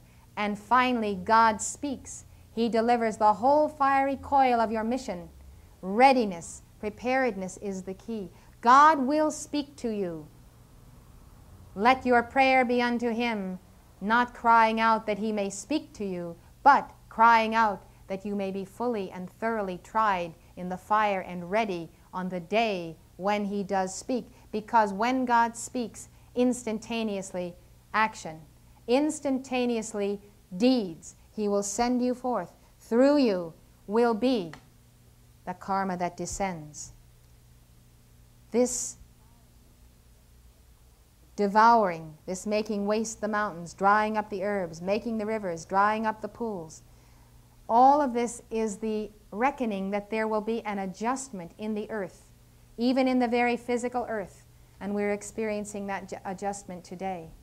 The descent of light demands the reckoning, the resolution, the balancing of karma. God will demand it of you. He will demand change before you can be the perfection of His servant. So you can expect when the light pours out, you will not be left in your former condition. Will you resist the change and therefore thwart the whole spiral coming forth? Or will you know it's coming, expect an earthquake in your life, expect things to change, and expect to be called to the level of the Christ consciousness if you are to be a worthy servant? They shall be turned back. They shall be greatly ashamed that trust in graven images, in other people, in the outer self of anyone to be their Savior. That say to the molten images, Ye are our gods. Don't be so foolish as to think that this is a prophecy about idol worshippers of stone. People were far more sophisticated. Isaiah knew what he was talking about. He was talking about the people of America who worship the Nephilim gods and their computers. Those are the idols. Those are the graven images, graven out of clay by Lucifer and the fallen ones, and Anu, Enki, and Enlil, who made the mechanization man. It's a funny thing how people have been reading for centuries about idolatry, and they're all worried about a little statue of Mother Mary and thinking that that is the height of idolatry. It's the worship of people Americans are prone to this idolatry, and they trust in the outer self, even of themselves. So here is the great warning the servant of the Lord is coming. He may not be an idolater, you may not be an idolater if you are to receive him. Hear, ye deaf, and look, ye blind, that ye may see. Who is blind but my servant, or deaf as my messenger that I sent? Who is blind as he that is perfect? and blind as the Lord's servant, seeing many things, but thou observest not, opening the ears, but he heareth not. The Lord is well pleased for his righteousness' sake. He will magnify the law and make it honorable. That's a very interesting passage about the blindness and the deafness of the messenger. The messenger will not see evil or human creation or your faults until the Lord reveal it. The Lord has given to the messenger to dwell in the immaculate heart of the cosmic virgin, holding such a powerful force field for you, for the magnet of your soul to be magnetized to your divine reality, that the messenger appears deaf and blind. And people say, we can fool the messenger. The messenger will not know what we are doing. We can do thus and such behind the messenger's back. And then all of a sudden, after years and years of fooling the messenger, it all comes home, and the individual receives the judgment in spite of the messenger, independent of the messenger, but through the messenger. I have to tell you a funny story. I went to San Francisco. I was greeted at the airport by some chelas. One a very, very dear Chela, who said to me, as soon as he laid eyes on me, that when I had seen him a few years ago, he had asked for a healing for a spot on his lungs. And he was there now meeting me at the airport to testify to the fact that he felt when I made the call and this entire substance dissolved in his lungs and he never had the spot on his lungs again. He said he felt the fire come in and burn up the spot. So now he had this problem and that problem and the next problem, and therefore I should make an invocation for his healing. Now, this was his request, this was his encounter with the Guru. This was the uppermost thing on his mind. So I smiled. I was very happy to see him. I was ready to oblige. I told him that uh, I couldn't heal anyone, that God was the healer. And he said, Yes, but God needs an interpreter. I said, Fine, whatever God wishes to do, he will do. So we went on. These chelas were determined to take me out to dinner. I said, Well, I don't want to go to a fish place. Take me to a Chinese restaurant. Go to San Francisco, you got to go to a Chinese restaurant. So, found a Chinese restaurant, and I thought I would oblige because it was on the second floor, parked in the street. I would hop out of the car in case the car needed to drive on, and I'd go up and see if there was room and if we could get a reservation. So I hopped out of the car, slammed the door, went upstairs. In the meantime, this man had decided that he wasn't going to let me hop upstairs, that he was going to be the host and he was going to go up. So he was getting out of the car and he grabbed onto the car door and his various ailments made him a little bit slower than me. So he was holding on to the bar and when I slammed the door, it closed on his hand. And he had two fingers in the door. Those who were in the car said he waited a full minute before he quietly said, Will someone please open the door? so they opened the door, and when I came back, I found this calamity had happened through me, though I was deaf and blind to the entire experience. I did not see his karma. I did not see what was required for him to be healed. I did not see his hand on the door, and I did not know the door slammed. I was in, a, in an attunement of bliss akin to samadhi at the time. A very high state of consciousness, and I was in absolute harmony. Nothing could have come through me except the will of God. Now remember, the Chela asked for the healing, and this is what he received. So we took him upstairs, found some ice, wrapped his hand in ice, put band aids on. He had no damage to his hand except a little pain, which really was miraculous in itself. Car door was totally closed on these two fingers. And uh, he was sitting there, and so I held his hand while we were waiting for the table to come, and I told him, well, if it weren't for the accident, I wouldn't have been holding his hand all this time. but all of a sudden, as he was meditating on the experience, he said, It just dawned on me. This karma have, has been 53 years coming home. He said, 53 years ago, I slammed a man's fingers in the door of a car. So it was not I who did this, it was the inexorable law of karma. The servant of Sanat Kumara is the instrument of the law.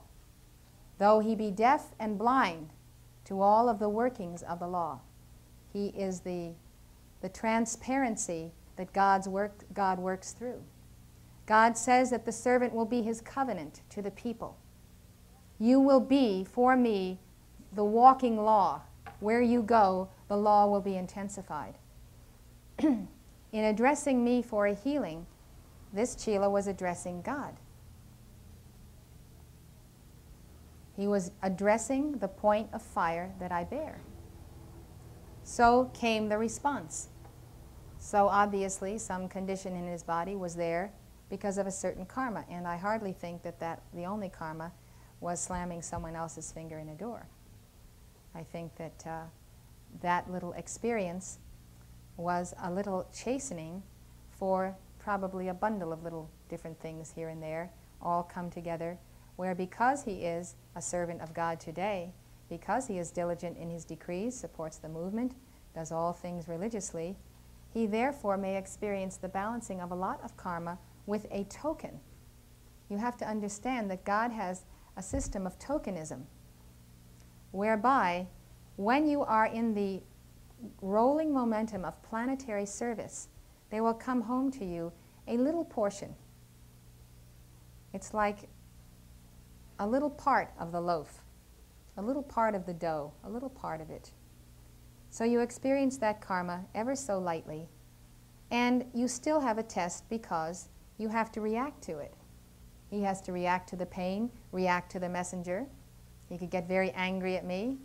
You know, he could, he could have any reaction to me whatsoever, but he was perfectly sweet and peaceful about the whole thing, except chiding me that he was the one who should have run upstairs to make the appointment and not me because um, he was my host. But other than that, he was very gracious, and in that he was also gracious. Now, people who have observed the messenger over the years know that this goes on all, all the time. I haven't the faintest idea of how God is using me as servant. I will come upon a situation, I will say something, I will have no idea that it is offensive to anyone, and first thing you know, somebody is absolutely into a tizzy over something and uh, finding out, and I'm finding out that it's a, it's a big confrontation and it's a big test. Also, there is that concept of, of the blindness of the messenger as not being aware of, of the things that children do, etc., and get away with behind my back. So that is the way God operates. He lets you be a vessel. He doesn't tell you everything. He goes on a need to know basis. What you need to know, he tells you. And usually, what you need to know is where to be at the right time, at the right place. And that's why Morya says we should, we should take care to be on time. So, if you're at the right time, in the right place, you'll inevitably be the instrument of God. Inevitably. That's just the way it goes. If you dedicate yourself to this path. And I don't know if I could have understood this had I not seen it outpictured in the life of Mark and be in such a state of wonder as how it works through me and how I'm continually amazed that God does all of these things. And there is such a oneness with God and there's such a trust. This is what you have to realize that God trusts you so much when you are His servant that it's like this very intimate understanding of Father and Son. He doesn't have to bother to inform you that you're going to do this at such and such a time, or you're going to do that. It's understood. You're already committed to the job. You'll go where you're supposed to do. You'll go where you're supposed to be. You'll do what you're supposed to do. And therefore, there doesn't have to be a lot of words. It's a mutual understanding, a mutual interdependence. It is a wonderful way to live. I commend you to living in this way. It's exciting. And the more you test yourself on the lesson of obedience, the more you are learning to identify the voice of God to obey His voice, to silence the babble of all the other voices that are competing for you. And they're often the loudest ones, but God's voice will be the still and strong voice. It may be small, but it's very strong, very definite. It has a very personal vibration. Your mighty I am presence has an unmistakable vibration. You must know its vibration. You must know the vibration of your Christ self. And then a thousand other voices will not be able to lead you astray with enticement. God doesn't entice you. He doesn't make promises of all the wonderful things that are going to happen to you if you obey Him. He simply says, Go, do, be, act, will, pray, decree, commands. You go do it, and it's your joy of discovery to find out what He will do for you when you obey Him. The Lord is well pleased for his righteousness' sake. He will magnify the law through you, and through you he will make his law honorable.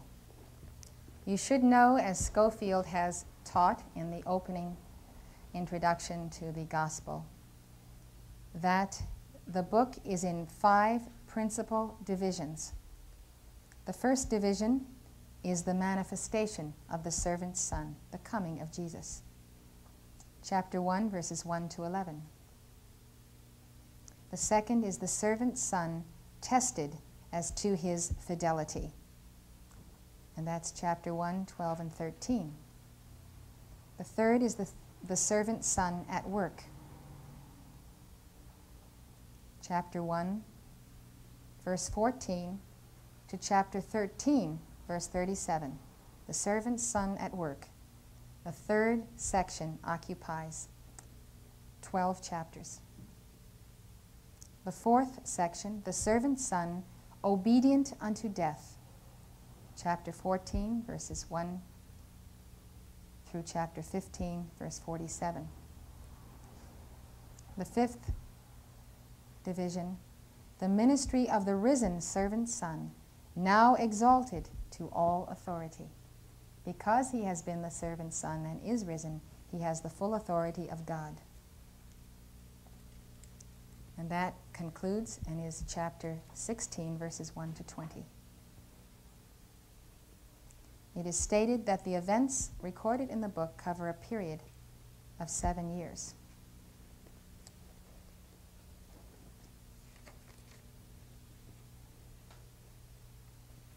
Now, concerning the commentary by the Church Fathers on the book of Mark, the earliest statement about the gospel that is in existence concerning Mark comes from Papias around 140 AD.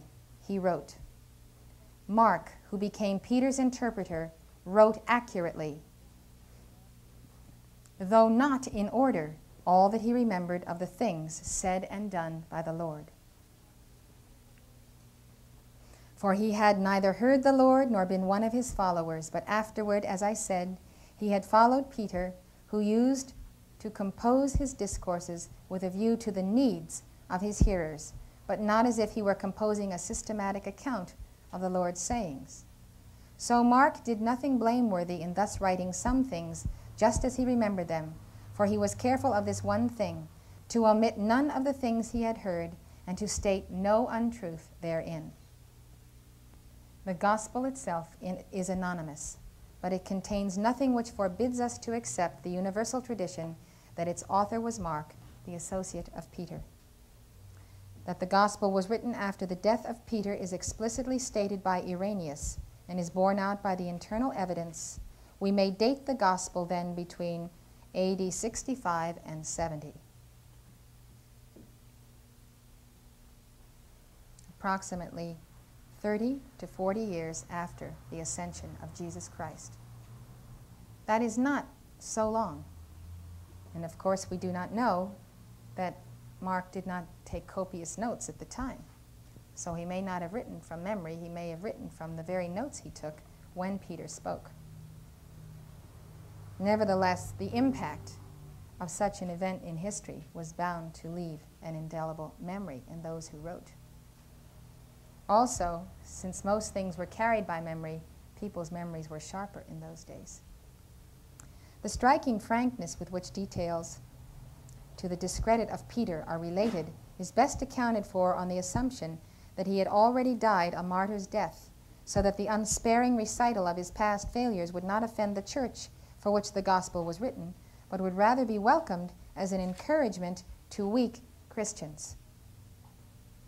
Peter's evangelist makes no mention of the high commendations which Christ gave that apostle on his making that explicit confession of his being the Son of God. Neither does he mention his walking on the water, but gives at full length the history of St. Peter's denying his master with all its circumstances. The interesting thing about portraying Peter's weaknesses as an encouragement to weak Christians is that those who would be weak take advantage of the situation. Well, Peter failed, so if I fail, I'll still get into the kingdom of heaven. And the whole story is not known, of course, that Peter has not yet gotten into the kingdom of heaven. He never has ascended yet, and he has reincarnated through this century. So his failures definitely were a karmic condition.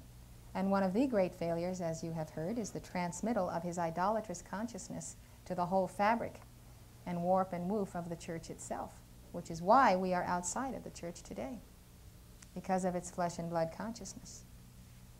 The gospel, according to St. Mark, was for many centuries thought to be merely an abridgment of Matthew, and so tended to be the least valued and least read. It is now widely recognized as the earliest of the synoptic gospels. The arguments upon which this conclusion is based include the fact that the substance of over 90% of Mark's verses is contained in Matthew, the substance of over 50% in Luke.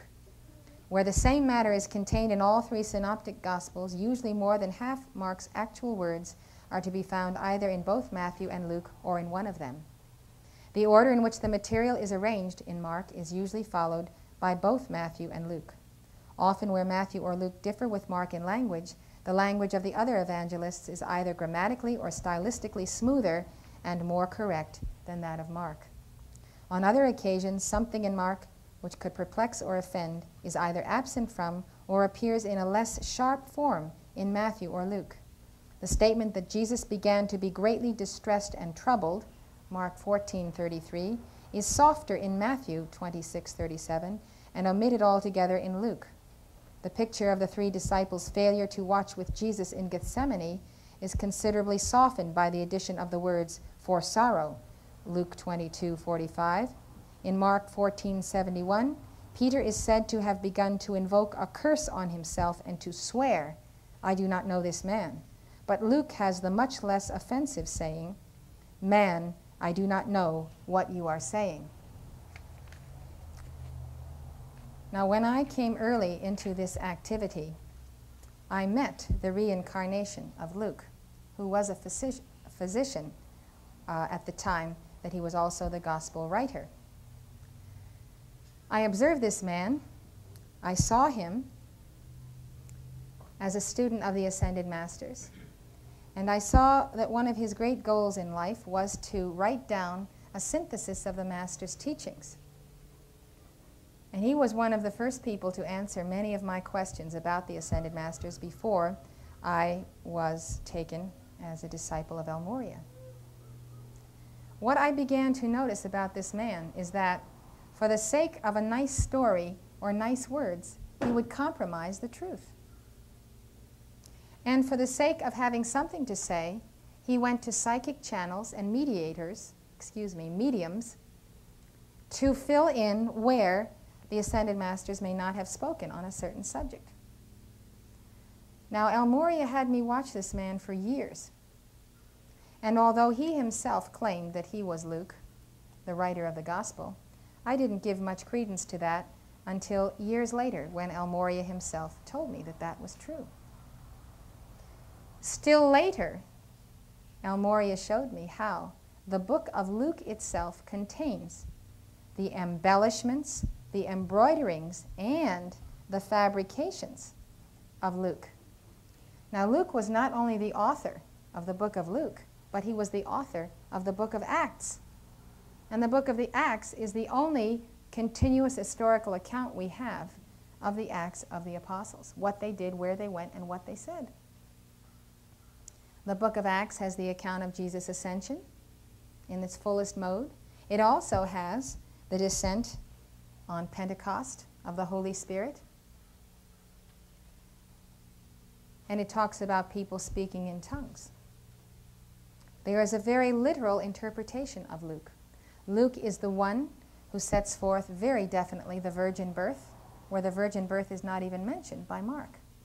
Wouldn't you think something as important as the virgin birth, if it were authentic, would have been taught by Peter and written down by Mark? But it's not here, it's in the book of Luke.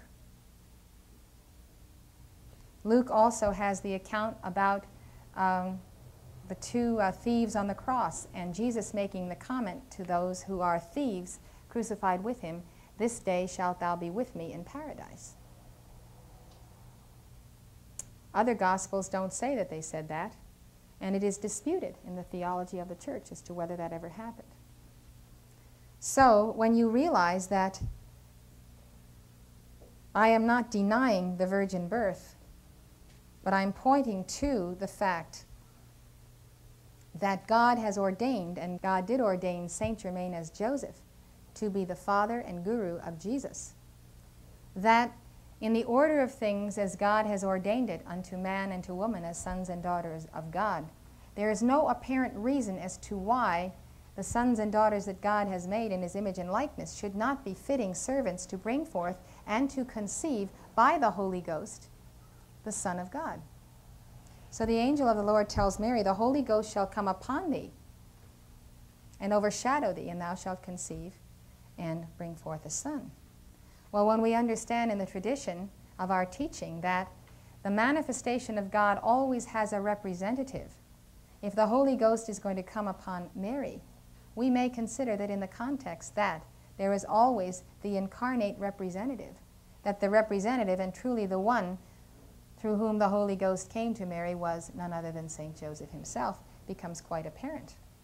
Now, it was supposed by all at the time of Jesus' birth that Joseph was his father. It was commonly accepted.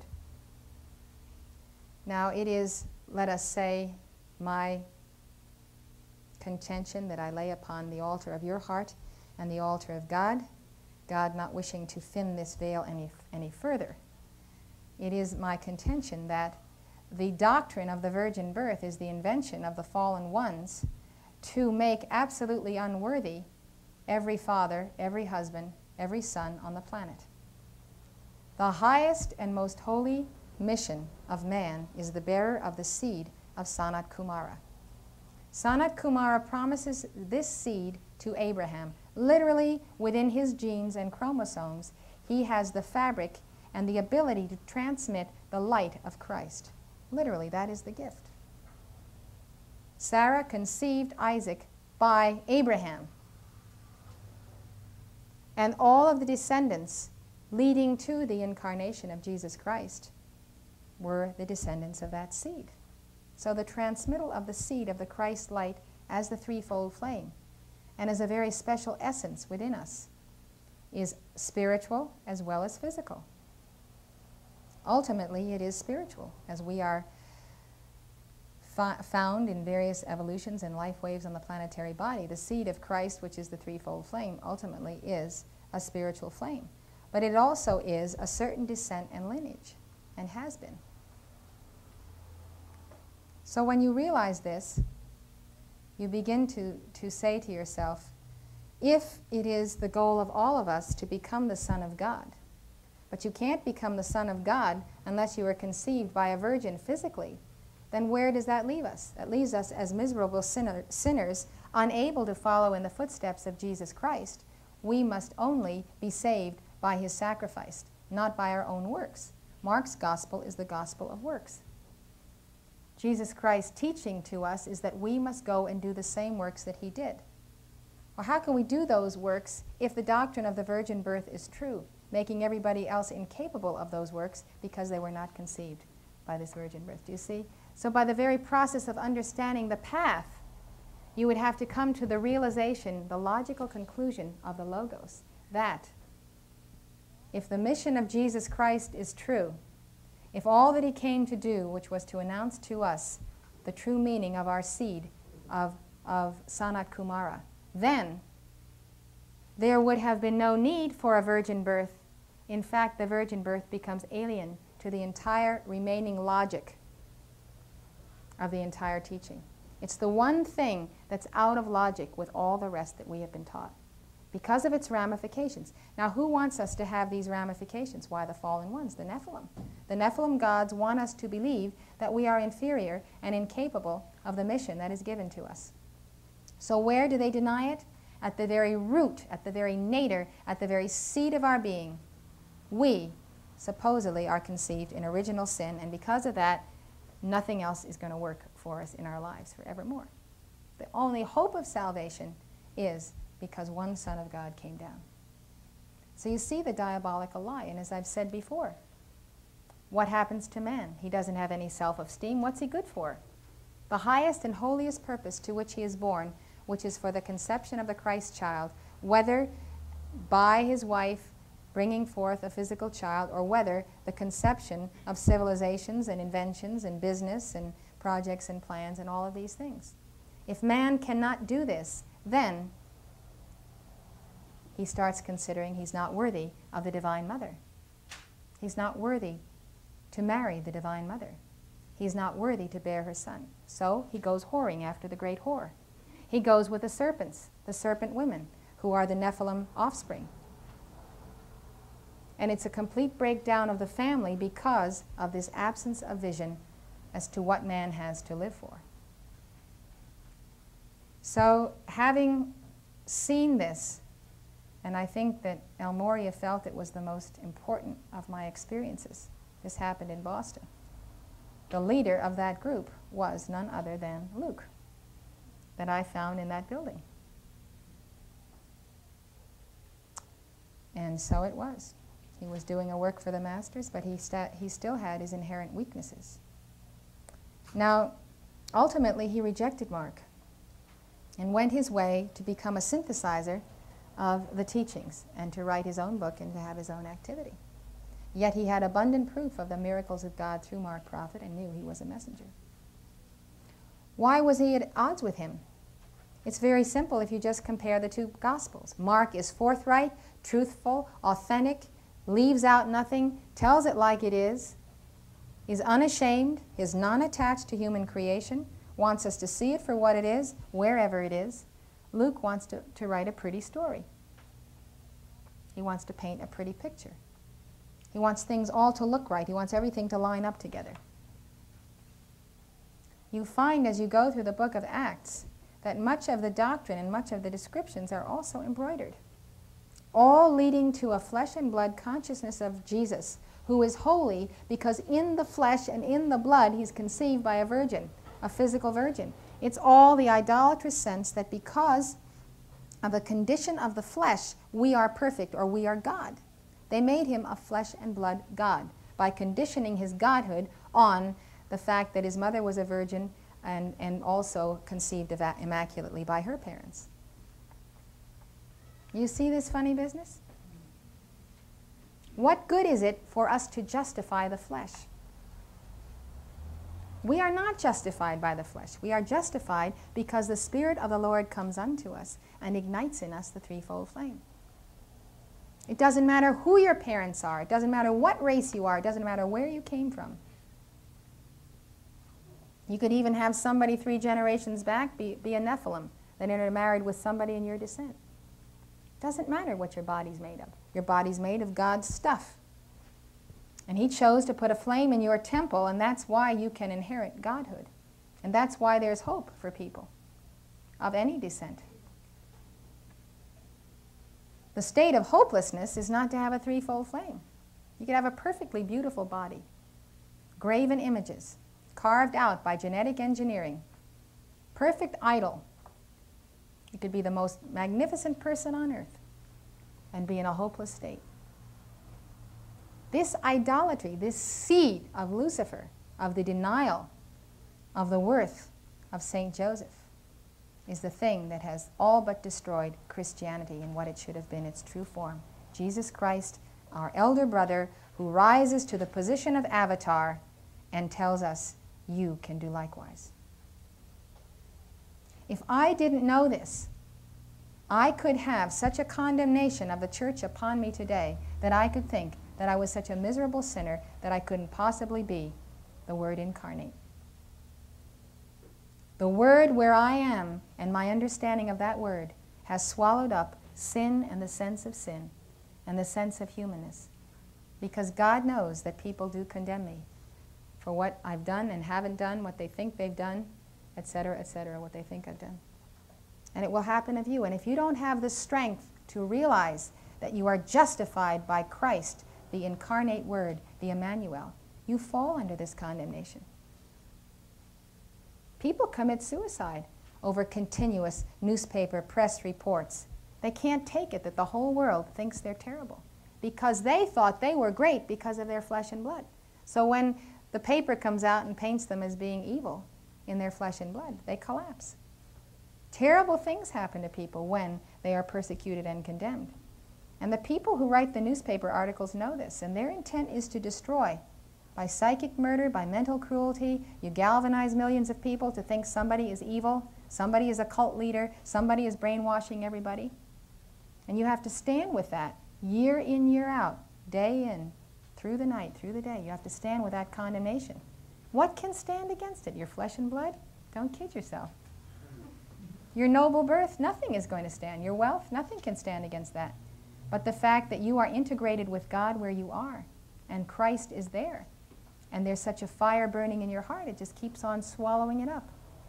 It keeps, the, the fire literally is like tongues tongues of fire keep on lapping up the words of your enemies and the words of condemnation. And God will not give you that kind of persecution to deal with until you have internalized enough light. He will put the light in you first, and then He'll let you start experiencing it, a little by little. A little bit of gossip here, a little bit of condemnation there. Your best friend says something terrible behind your back, and you think you're going to collapse in a heap because this terrible thing happened. And then pretty soon you find out that your real peace and joy is in your heart. It's in, in the peace of the flame within. So you overcome it on a one to one basis, and you keep on getting stronger and stronger. And, and even when you hear about it, you just keep on praising God. You don't even lose a step. So then God sees you're strong enough, and he, he lets you get better known, and He lets the thing go on. So there you are. It's a, it's a very great mystery to study the New Testament. You have to study the Apocrypha and you have to study the Dead Sea Scrolls. There are all kinds of things in the unpublished books of the New Testament that will shed light on the Bible. You have to read with discrimination because there are some views and statements in the Dead Sea Scrolls that I think I, I myself think are slightly off in the commentators of the time. So everything with a grain of salt, everything with understanding. But unfortunately, orthodoxy begins with these Gospels, the orthodoxy of the flesh and blood Jesus. And I tell you something, these fallen ones have taken Jesus, they've put him in a, in a glass coffin for display to all the world. They have carefully sealed him in this glass sarcophagus, and they have deprived all other peoples of his message because there is something so wrong at the same that there is at the same time there's that there's something so right about the message. There's something so wrong about the idolatry idolatry of Jesus today. The Jews will not accept it, Hindus don't accept it, Buddhists don't accept the Christian message as it's taught, and they ought to, because the very teaching is in their own teachings. The concept of the avatara and the word incarnate is Hindu at its foundation.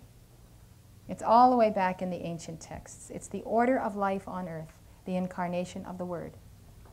But what they're not about to accept is that Jesus is the only Son of God. Jesus is the world's Savior who, by the misinterpretation of the fallen ones, is rejected. It's like Gandhi, the great Hindu. He loved Jesus, but he didn't like Christianity. A great devotee of Jesus.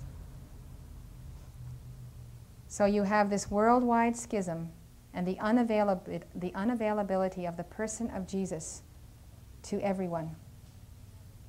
It's for an exclusive group of people who have swallowed the whole cloth of this misinterpretation. And they call themselves Christians, not realizing that they have been brainwashed. So there's a cult of Christianity today. And then there's the original Christianity. And of course, you know who calls who what but you have to know who and what you are and decide for yourself.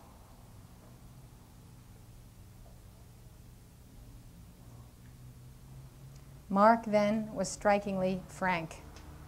It's very interesting because he re embodied as the first of the Frankish kings, Clovis, and was very frank when his wife said uh, that he should be converted to, to Christ. And he said, Well, I will be if I win the battle. So he won the battle, was converted to Christ, and therefore France became Catholic. So he was always frank, and that's the most important quality that you can be. And you know something? When you meet a frank person, and if you have a, a friend that is frank, you realize that there are modes of thinking and speaking that are constantly devious in people. We try to couch things and say things in phrases so as not to offend someone, to not quite hammer the nail right on the head with a hammer of mark. And there's a lot of conversation that goes on to try and mitigate and arrange and appease and compromise. And all of a sudden, somebody frank walks in and says three sentences. Everybody knows what to do, where to go, and where everything lays. So you, you need to watch the machinations of your own mind with an absence of honesty, frankness, forthrightness, and boldness. When you are that way, you'll have the greatest friends in the world championing you. You may have few friends, but you'll have the finest people that you could ever meet anywhere, loyal to you to your dying breath, because they know they'll always get an honest answer from you. In Mark, listen to this, the disciples' pre resurrection mode of addressing Jesus as teacher and rabbi is faithfully reflected.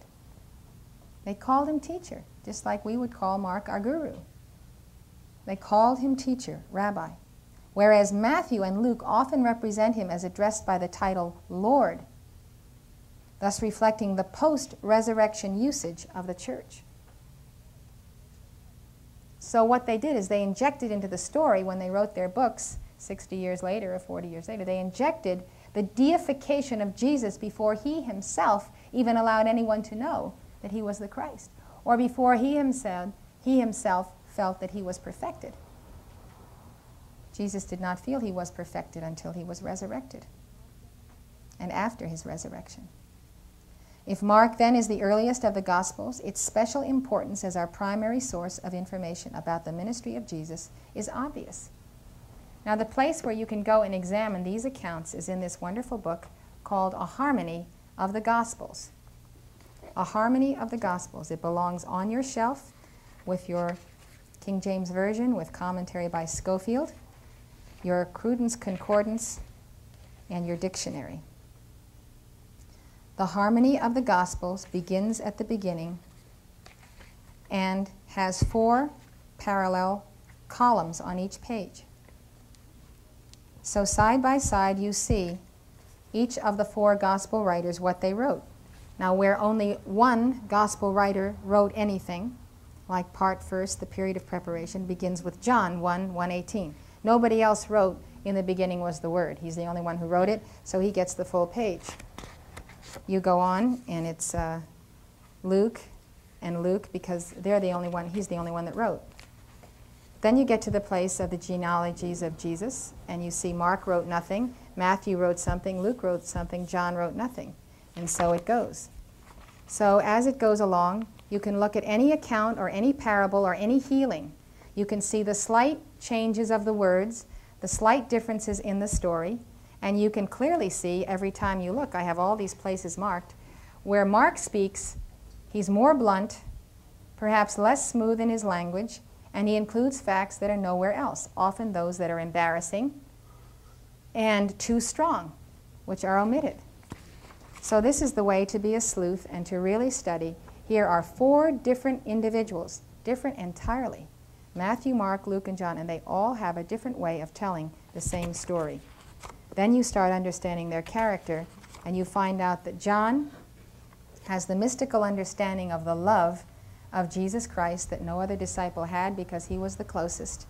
You find that Mark has a mystical understanding of going straight to the heart of the whole purpose of Jesus. You find that Matthew and Luke are the storytellers, are the embroiderers. They want to create a nice little storybook. You find that those who go into the deep ministry of Jesus will read John. And when you correctly understand the love that is portrayed, and it is not a human love, you go right from John the Beloved to the path of the saints of the church, to St. John of the Cross, to the marriage of the soul to the bridegroom. While on earth, the soul of John was wed to the Christ in Jesus. It was the Guru Chela relationship. And John, of course, ascended. So Mark is really the source book for Luke and Matthew to which they added whatever other source materials they found or whatever else they heard. There are narratives which, by their vividness and wealth of detail, give the impression of being derived directly from the reminiscence of an eyewitness. Some of these are narratives in which Peter figures prominently or which must have been a special interest for him.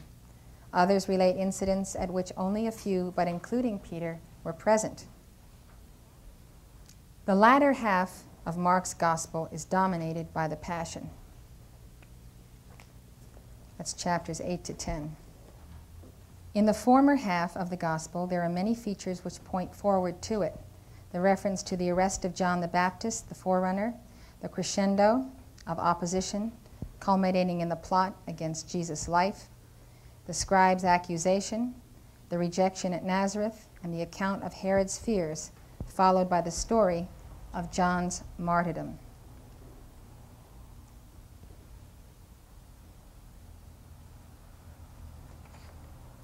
The movement of the gospel is the march of Jesus toward the cross and the resurrection. Mark's emphasis on the passion is an indication of his purpose to set forth the good news of the deed of God for the world's salvation. It is not, however, intended to suggest that what preceded the actual passion was unimportant. But these things are rightly understood only when they are seen in the light of what followed them. The Gospel of St. Mark was written from faith to faith.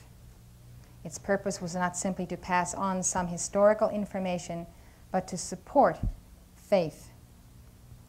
Its contents are not the coldly objective depositions of neutral observers, but the testimony of people who believed in Jesus of Nazareth as the Son of God. While some of the material in the Gospel probably derives from the reminiscence of Peter, much of it bears the marks of having undergone the processes of oral tradition, being told again and again. Where Mark did not find vivid details in the material which he had received, he refrained from creating them. This is one explanation as to why the book is short. If he didn't have anything to say, he didn't say it, and he didn't embroider. That leaves our Christ discrimination to interpret those events. You can't interpret an event when it's not told to you properly. You have to know exactly what happened, then you sit down and figure out what is the import of it. So he has a certain respect for each one's integrity of having a right to know the event without somebody else's projecting into it things that weren't there. As I mentioned, I think uh, Mark does not have Peter walking on the water. I believe that's Luke. And yet it was Peter whose book he wrote down. Now, wouldn't you think Peter would have him write down the story of him walking on the water?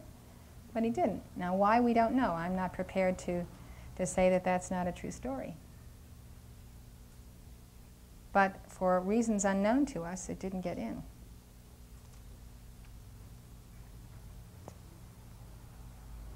The evidence does not point to Mark's having been a born storyteller, the sort of person who just cannot tell a story badly, as has sometimes been suggested.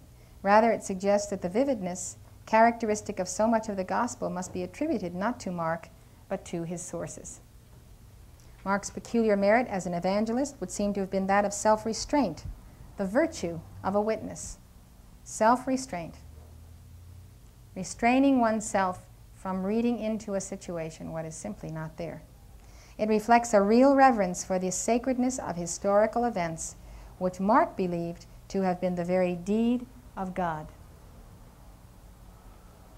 God showed Mark, and Mark believed that every work that he observed, even among the apostles, was the deed of God, that God was acting through the whole drama. And since it was the deed of God, he dare not embellish it. When he has received a unit of tradition in isolation and has no reliable information about its historical context, Mark does not supply from his imagination suitable temporal and geographical details to link it with the context in which he sets it, but prefers to introduce it with a simple and. By contrast, Matthew and Luke sometimes introduce connecting links where Mark has none. For example, Luke connects the question about fasting with a supper in Levi's house. Matthew connects Jesus' withdrawal with the execution of the Baptist by the phrase, Now, when Jesus heard this. The same restraint is apparent in the way Mark leaves intact groups of units which he has received as such, even when the grouping is clearly topical and not historical. The conclusion to be drawn from this evidence is surely that we may have very great confidence in Mark's own reliability. I can testify to you the reliability of Mark as a messenger in this embodiment. He would not say anything that he was not totally convinced of. If Morya said 10 words, he would not add in an 11th word to either soften or somehow modify what Morya said. You have to realize that this modification process occurs even before the reasoning process. I see this happen all the time. I give someone a message to go give someone else. By the time they've told it to one person, it's entirely different than what I said. I give specific words, a specific sentence, and I hear someone call someone up on the phone and they give an interpretation of what I said. I said, I don't need an interpretation. I want the person to hear these words because I know that I've already spoken with that person. I know what they're waiting to hear from me as a message. They will understand these words. So it's something that's inherent in the, in the mental body, the carnal mind. It's a terrible habit, but it happens to all of us. You hear something and you don't repeat it as you hear it. You receive an order to do something, you do it a different way. That shows that before you get to the point of action, something has happened in the hopper of this computer. And you have to be very pure. This quality of purity is rare. It's a virtue of virtues to be able to be a pure stream and a clear reflector and not interject your opinion.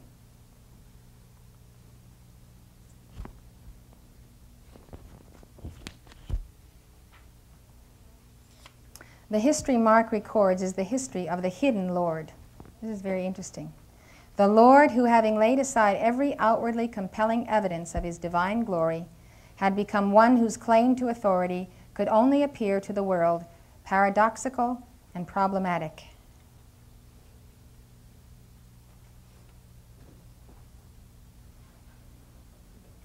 The hiddenness was an essential part of the cost of redeeming the many. For while his presence placed men in a situation of crisis, the hiddenness was necessary in order that they might be allowed sufficient room in which to make a personal decision. Everything in the ministry of Jesus has to be seen in the light of this hiddenness of the divine Lord. Here is the clue to the understanding of his refusal to give a sign, his silencing of the demoniacs who were crying out that he was Christ, his efforts to limit the publicity of his miracles, his teaching the multitudes by means of parables. He didn't go out to the multitudes on many occasions and actually exhibit great feats. He taught them in parables because he wanted them to follow a teaching and work works. And he confined his more direct teaching about himself and the kingdom of God to his disciples, his enjoining secrecy on the disciples and also the slowness of the disciples to understand, which he himself controlled.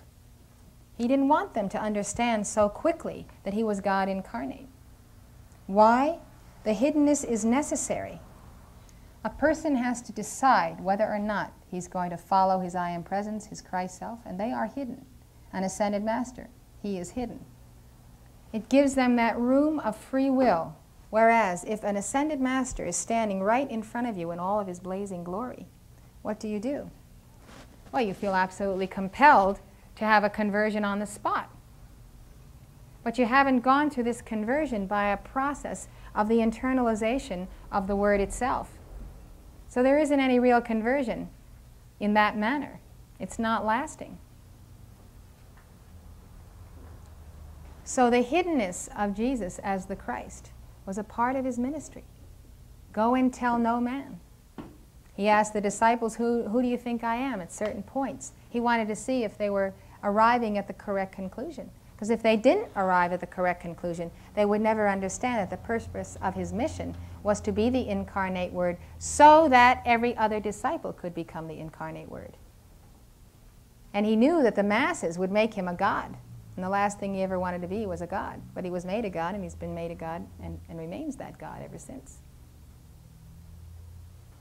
See, you don't have to imitate a God.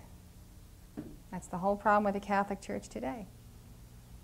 You go worship him, but you don't have to be like him. You can imitate a few of his ways. The more mystical you are, the more saintly you're inclined, you start imitating. But basically, people are sinners, Jesus is God, and through some great process, they get to heaven. And it's just not the truth. So Jesus wanted to hide that he was God from those who would worship him and reveal it to those who would imitate him. And John the Baptist was the same. He didn't admit he was Elias, come again. Mark understood this. Mark did not try to make him be deified where Jesus himself was not claiming deification. He kept it historical as it was. Now, you see, if, if people are so foolish as to go around proclaiming the messenger as the deliverer or the messenger today, myself, as the Word incarnate, instead of proclaiming each one's I am presence and Christ self as the deliverer, what you will accomplish is to turn people off to the teachings because people are too smart. Nobody wants to go and, and visit some god or some deity prancing around on mm-hmm. earth. People are too smart for that today. So if you have an idolatrous sense of me, and you've missed the whole point that the whole teaching centers around you and your Christ potential, you're going to go out and say things that only serve to hasten the crucifixion of the messenger and to hasten the downfall of those who cannot possibly follow a God in someone else whom they have not internalized in themselves. Jesus founded his church upon the rock of Peter because Peter's confession of him as Christ, the rock, was revealed to him by the Holy Spirit. He said, Flesh and blood hath not revealed it, revealed it unto you, but God has revealed this to you. Because God reveals to you the light that may be in me, it means the light in you is bearing witness not the idolater, not the carnal mind, not your mental body who sees a few miracles and a few feats, feats like Philip and, and uh, decides that uh, that is the basis of the Son of God. So the only one who can confess that Jesus is Lord or is the I am that I am is the one who has the Holy Spirit. And that confession should be an intimate personal communion within yourself and God. There is no point in all the world, whether I am or whether I'm not the Word incarnate, there is no point for anybody to think it, to know it, or to believe it unless they first discovered the Word in themselves. It's an irrelevant message. Do you understand? Totally irrelevant. The relevancy of God where I am is that it's an office and a focal point so that the Great White Brotherhood can do their mission keep the community together, give the initiations, be the instrument of judgment, etc. But it is not relevant to the person who enters the path and is going to start reciting the violet flame and start approaching his own, his own Christ self. It is threatening. It's a totally threatening idea.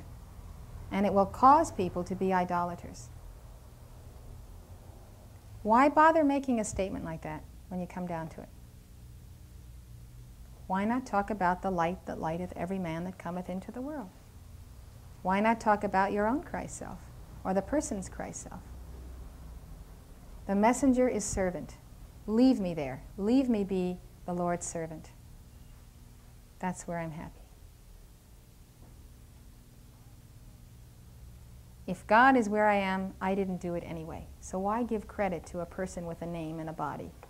I mean, if God is God where I am, then talk about God.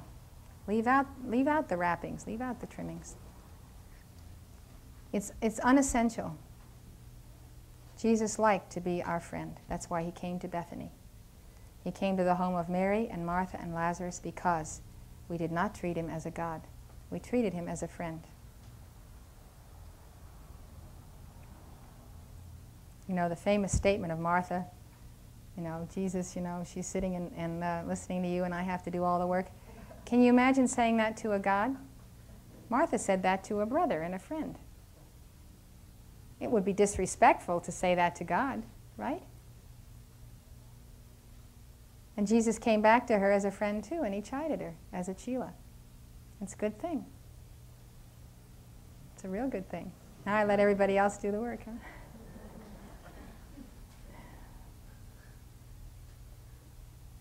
No, it's, it's very important that you make God feel at home. Who's God? The person next to you. Relate to people as people, relate to people as friends, relate to them as, as God, but not as the Nephilim gods. Mark understood it, Mark lived it. He left everybody else to figure out who and what he was.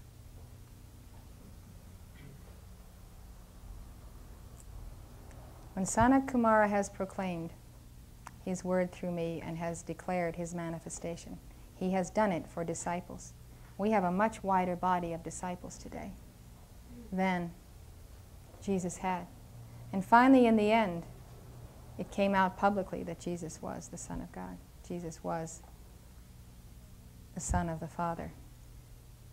So when it is finally stated, as these dictations get passed around, it is stated for another reason entirely that the fallen ones, having now found who is the latest avatar or who is the latest Son of God, may rise up and destroy that one and thereby be judged.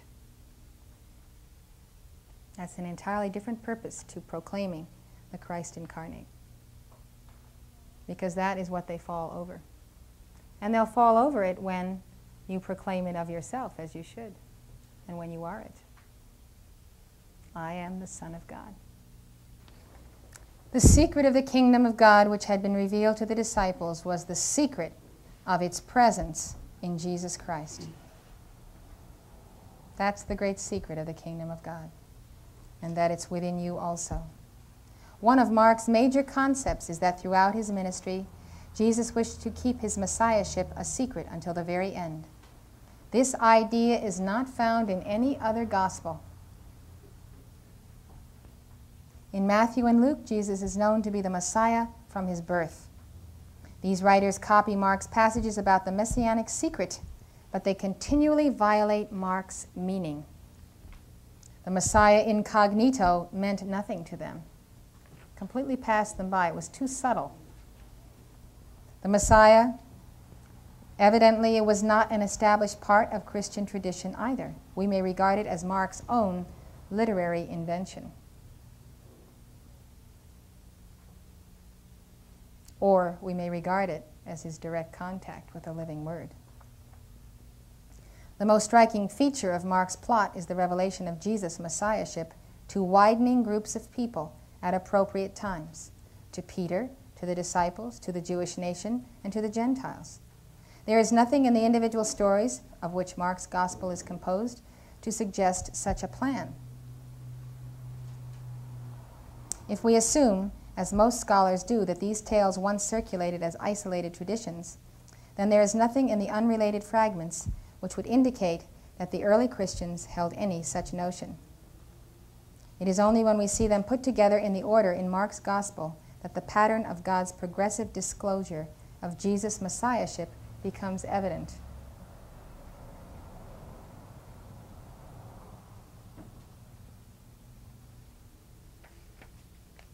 The Gospel of Mark is written from the point of view of faith in the living and exalted Lord. The very fact of his having put pen to paper to write an altogether new and special sort of book, which was not a mere memoir or biography or history, but a gospel, points to such a faith. We must make due allowance for the fact that much of Mark's material seems to have come to him as isolated units, carrying no indications of their proper historical contexts, while some was already grouped not historically, but topically. The style of the gospel is unpretentious and close to the everyday speech of the time. While it lacks the refinements of literary Greek, it has the merits of simplicity and directness. The Semitic flavor is unmistakable, but the Greek of the gospel, though it reflects strongly the influence of Aramaic, and though it is certainly rough and colloquial, is not incompetent.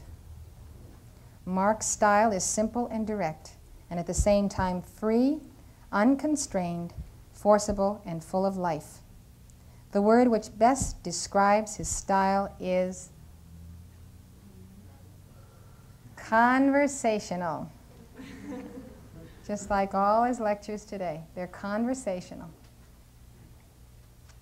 The evangelist evidently takes delight in reproducing what he knows, and simple as his language is, it is that of a writer one might almost say, of a talker to whom narrating is a pleasure. Mark's gospel was written in the spirit and manner of a preacher rather than an historian, much less a biographer. He does not merely chronicle each incident, but surrounds them with all the circumstances that made them impressive to the bystanders and constrains us to feel how deep that impression was. He depicts the wonder and awe with which Christ's words were listened to and his mighty deeds witnessed.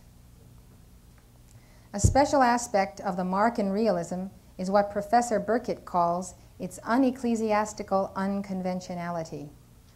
The candor shown in dealing with the shortcomings and failures of the apostles, in spite of the reverence for them felt during the apostolic age.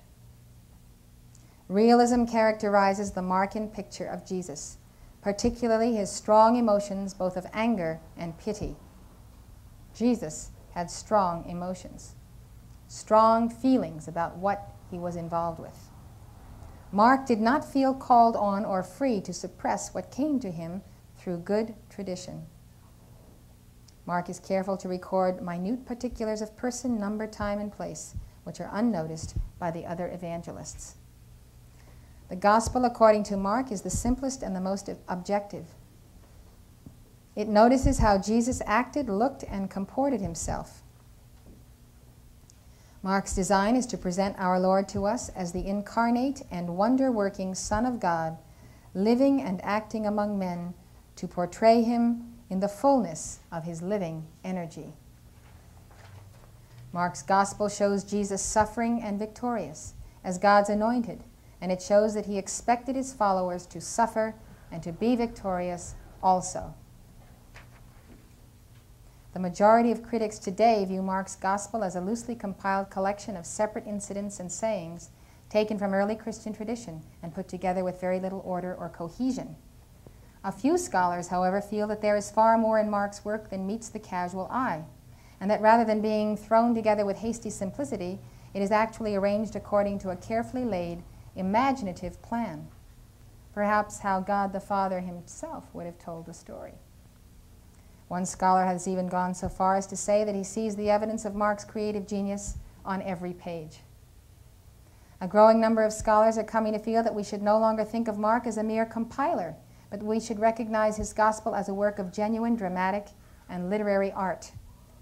Incident follows incident not because they happened in that order or because they chanced so to float together, but because the author has purposefully arranged them that way in keeping with his calculated plan. In other words, the book is spherical. Just the way pearls of wisdom are, they are there because it's a spiral that takes you into the heart of Christ by an unconventional line method, a biographical line of historical dates unfolding, so forth. As an original creative work intended to express a theological viewpoint, Mark is far more like John's Gospel than has been believed. Rather than being a loosely put together collection of ancient traditions, it is composed with careful craftsmanship. Enslin speaks of the author's daring genius. He sees the evidence of his handiwork on every page. It is true that much of Mark consists of earlier material, like stones in a mosaic. But Mark has selected, polished, and arranged his stones with the care of an expert craftsman. The unity of Mark, like the unity of a mosaic, lies in its design. Mark is far from a mere compiler. He deserves to be recognized as an author in his own right, a man of real imagination, a creator and an artist. When one perceives the care with which his plot has been constructed, and the precision with which each piece has been fitted into the whole, it is impossible to refer to his gospel as a hastily thrown together collection of traditional anecdotes. While it was written in the midst of crisis and therefore under pressure, it shows that it was composed according to a carefully laid plan. We recall that Shakespeare also wrote rapidly and under pressure, but still produced plays of tremendous power. I saw everything that Mark Prophet did in this life be produced under pressure. The pressure under the ongoingness of the divine plan. It moves. And the plan is moving so fast across the cosmos. It is a certain degree of creative tension and pressure that is the only thing that enables us to keep up with it. While it was written, the, the work of Mark, brief though it is, is worthy to be compared to classical Greek drama and it is safe to say that his story of the suffering Son of God has moved people as no Greek tragedy has ever done. Mark's gospel is not only a treasure of the infant church, it is a majestic piece of literature. Now, that conclusion comes to us after centuries of the opposite view by theologians. That conclusion. It has taken 2,000 years, although perhaps a few along the way have said it, but it has taken the evolution of Christ within the individual, the evolution of the emphasis on Jesus as a man of works that we can do also. It's taken the violet flame.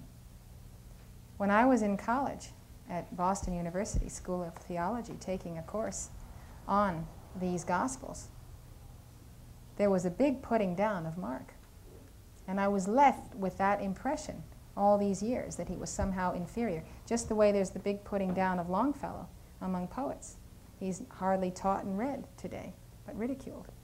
Why? Simplicity. Fallen ones want to complexify everything. Gets too simple, and people criticize it. So, with this fresh research, I realized that that entire momentum is a condemnation on the one book, together with John, in which we can find the real mysteries of Jesus Christ. I commend you all to read the Gospel of Mark,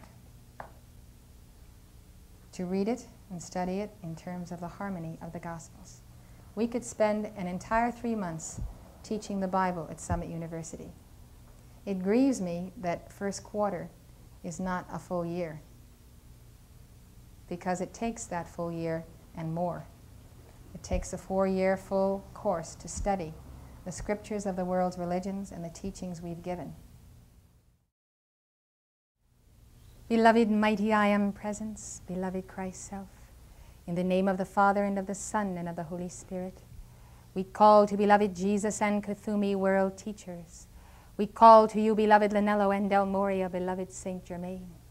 We ask that you place within our hearts now the great gift of wisdom and understanding and compassion whereby we might deliver, according to the will of God and the fervor of our hearts, the true understanding of the message of Jesus Christ, Gautama Buddha, Mother Mary, Archangel Michael, Sanat Kumara, Lord Maitreya, and all of the avatars. Blessed Zarathustra. I call for the light within Almighty God to expand the light within these hearts.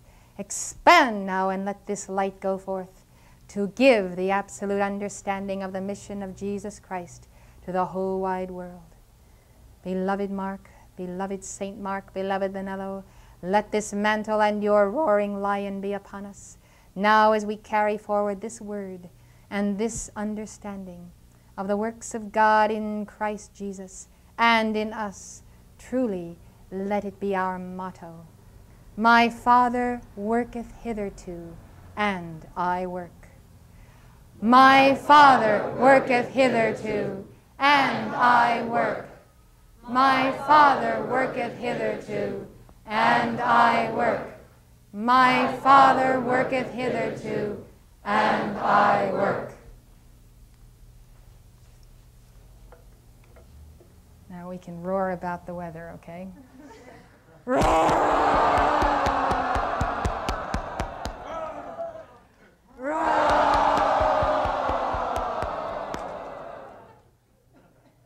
Dismissed for lunch. You can roar for your lunch now. Roar!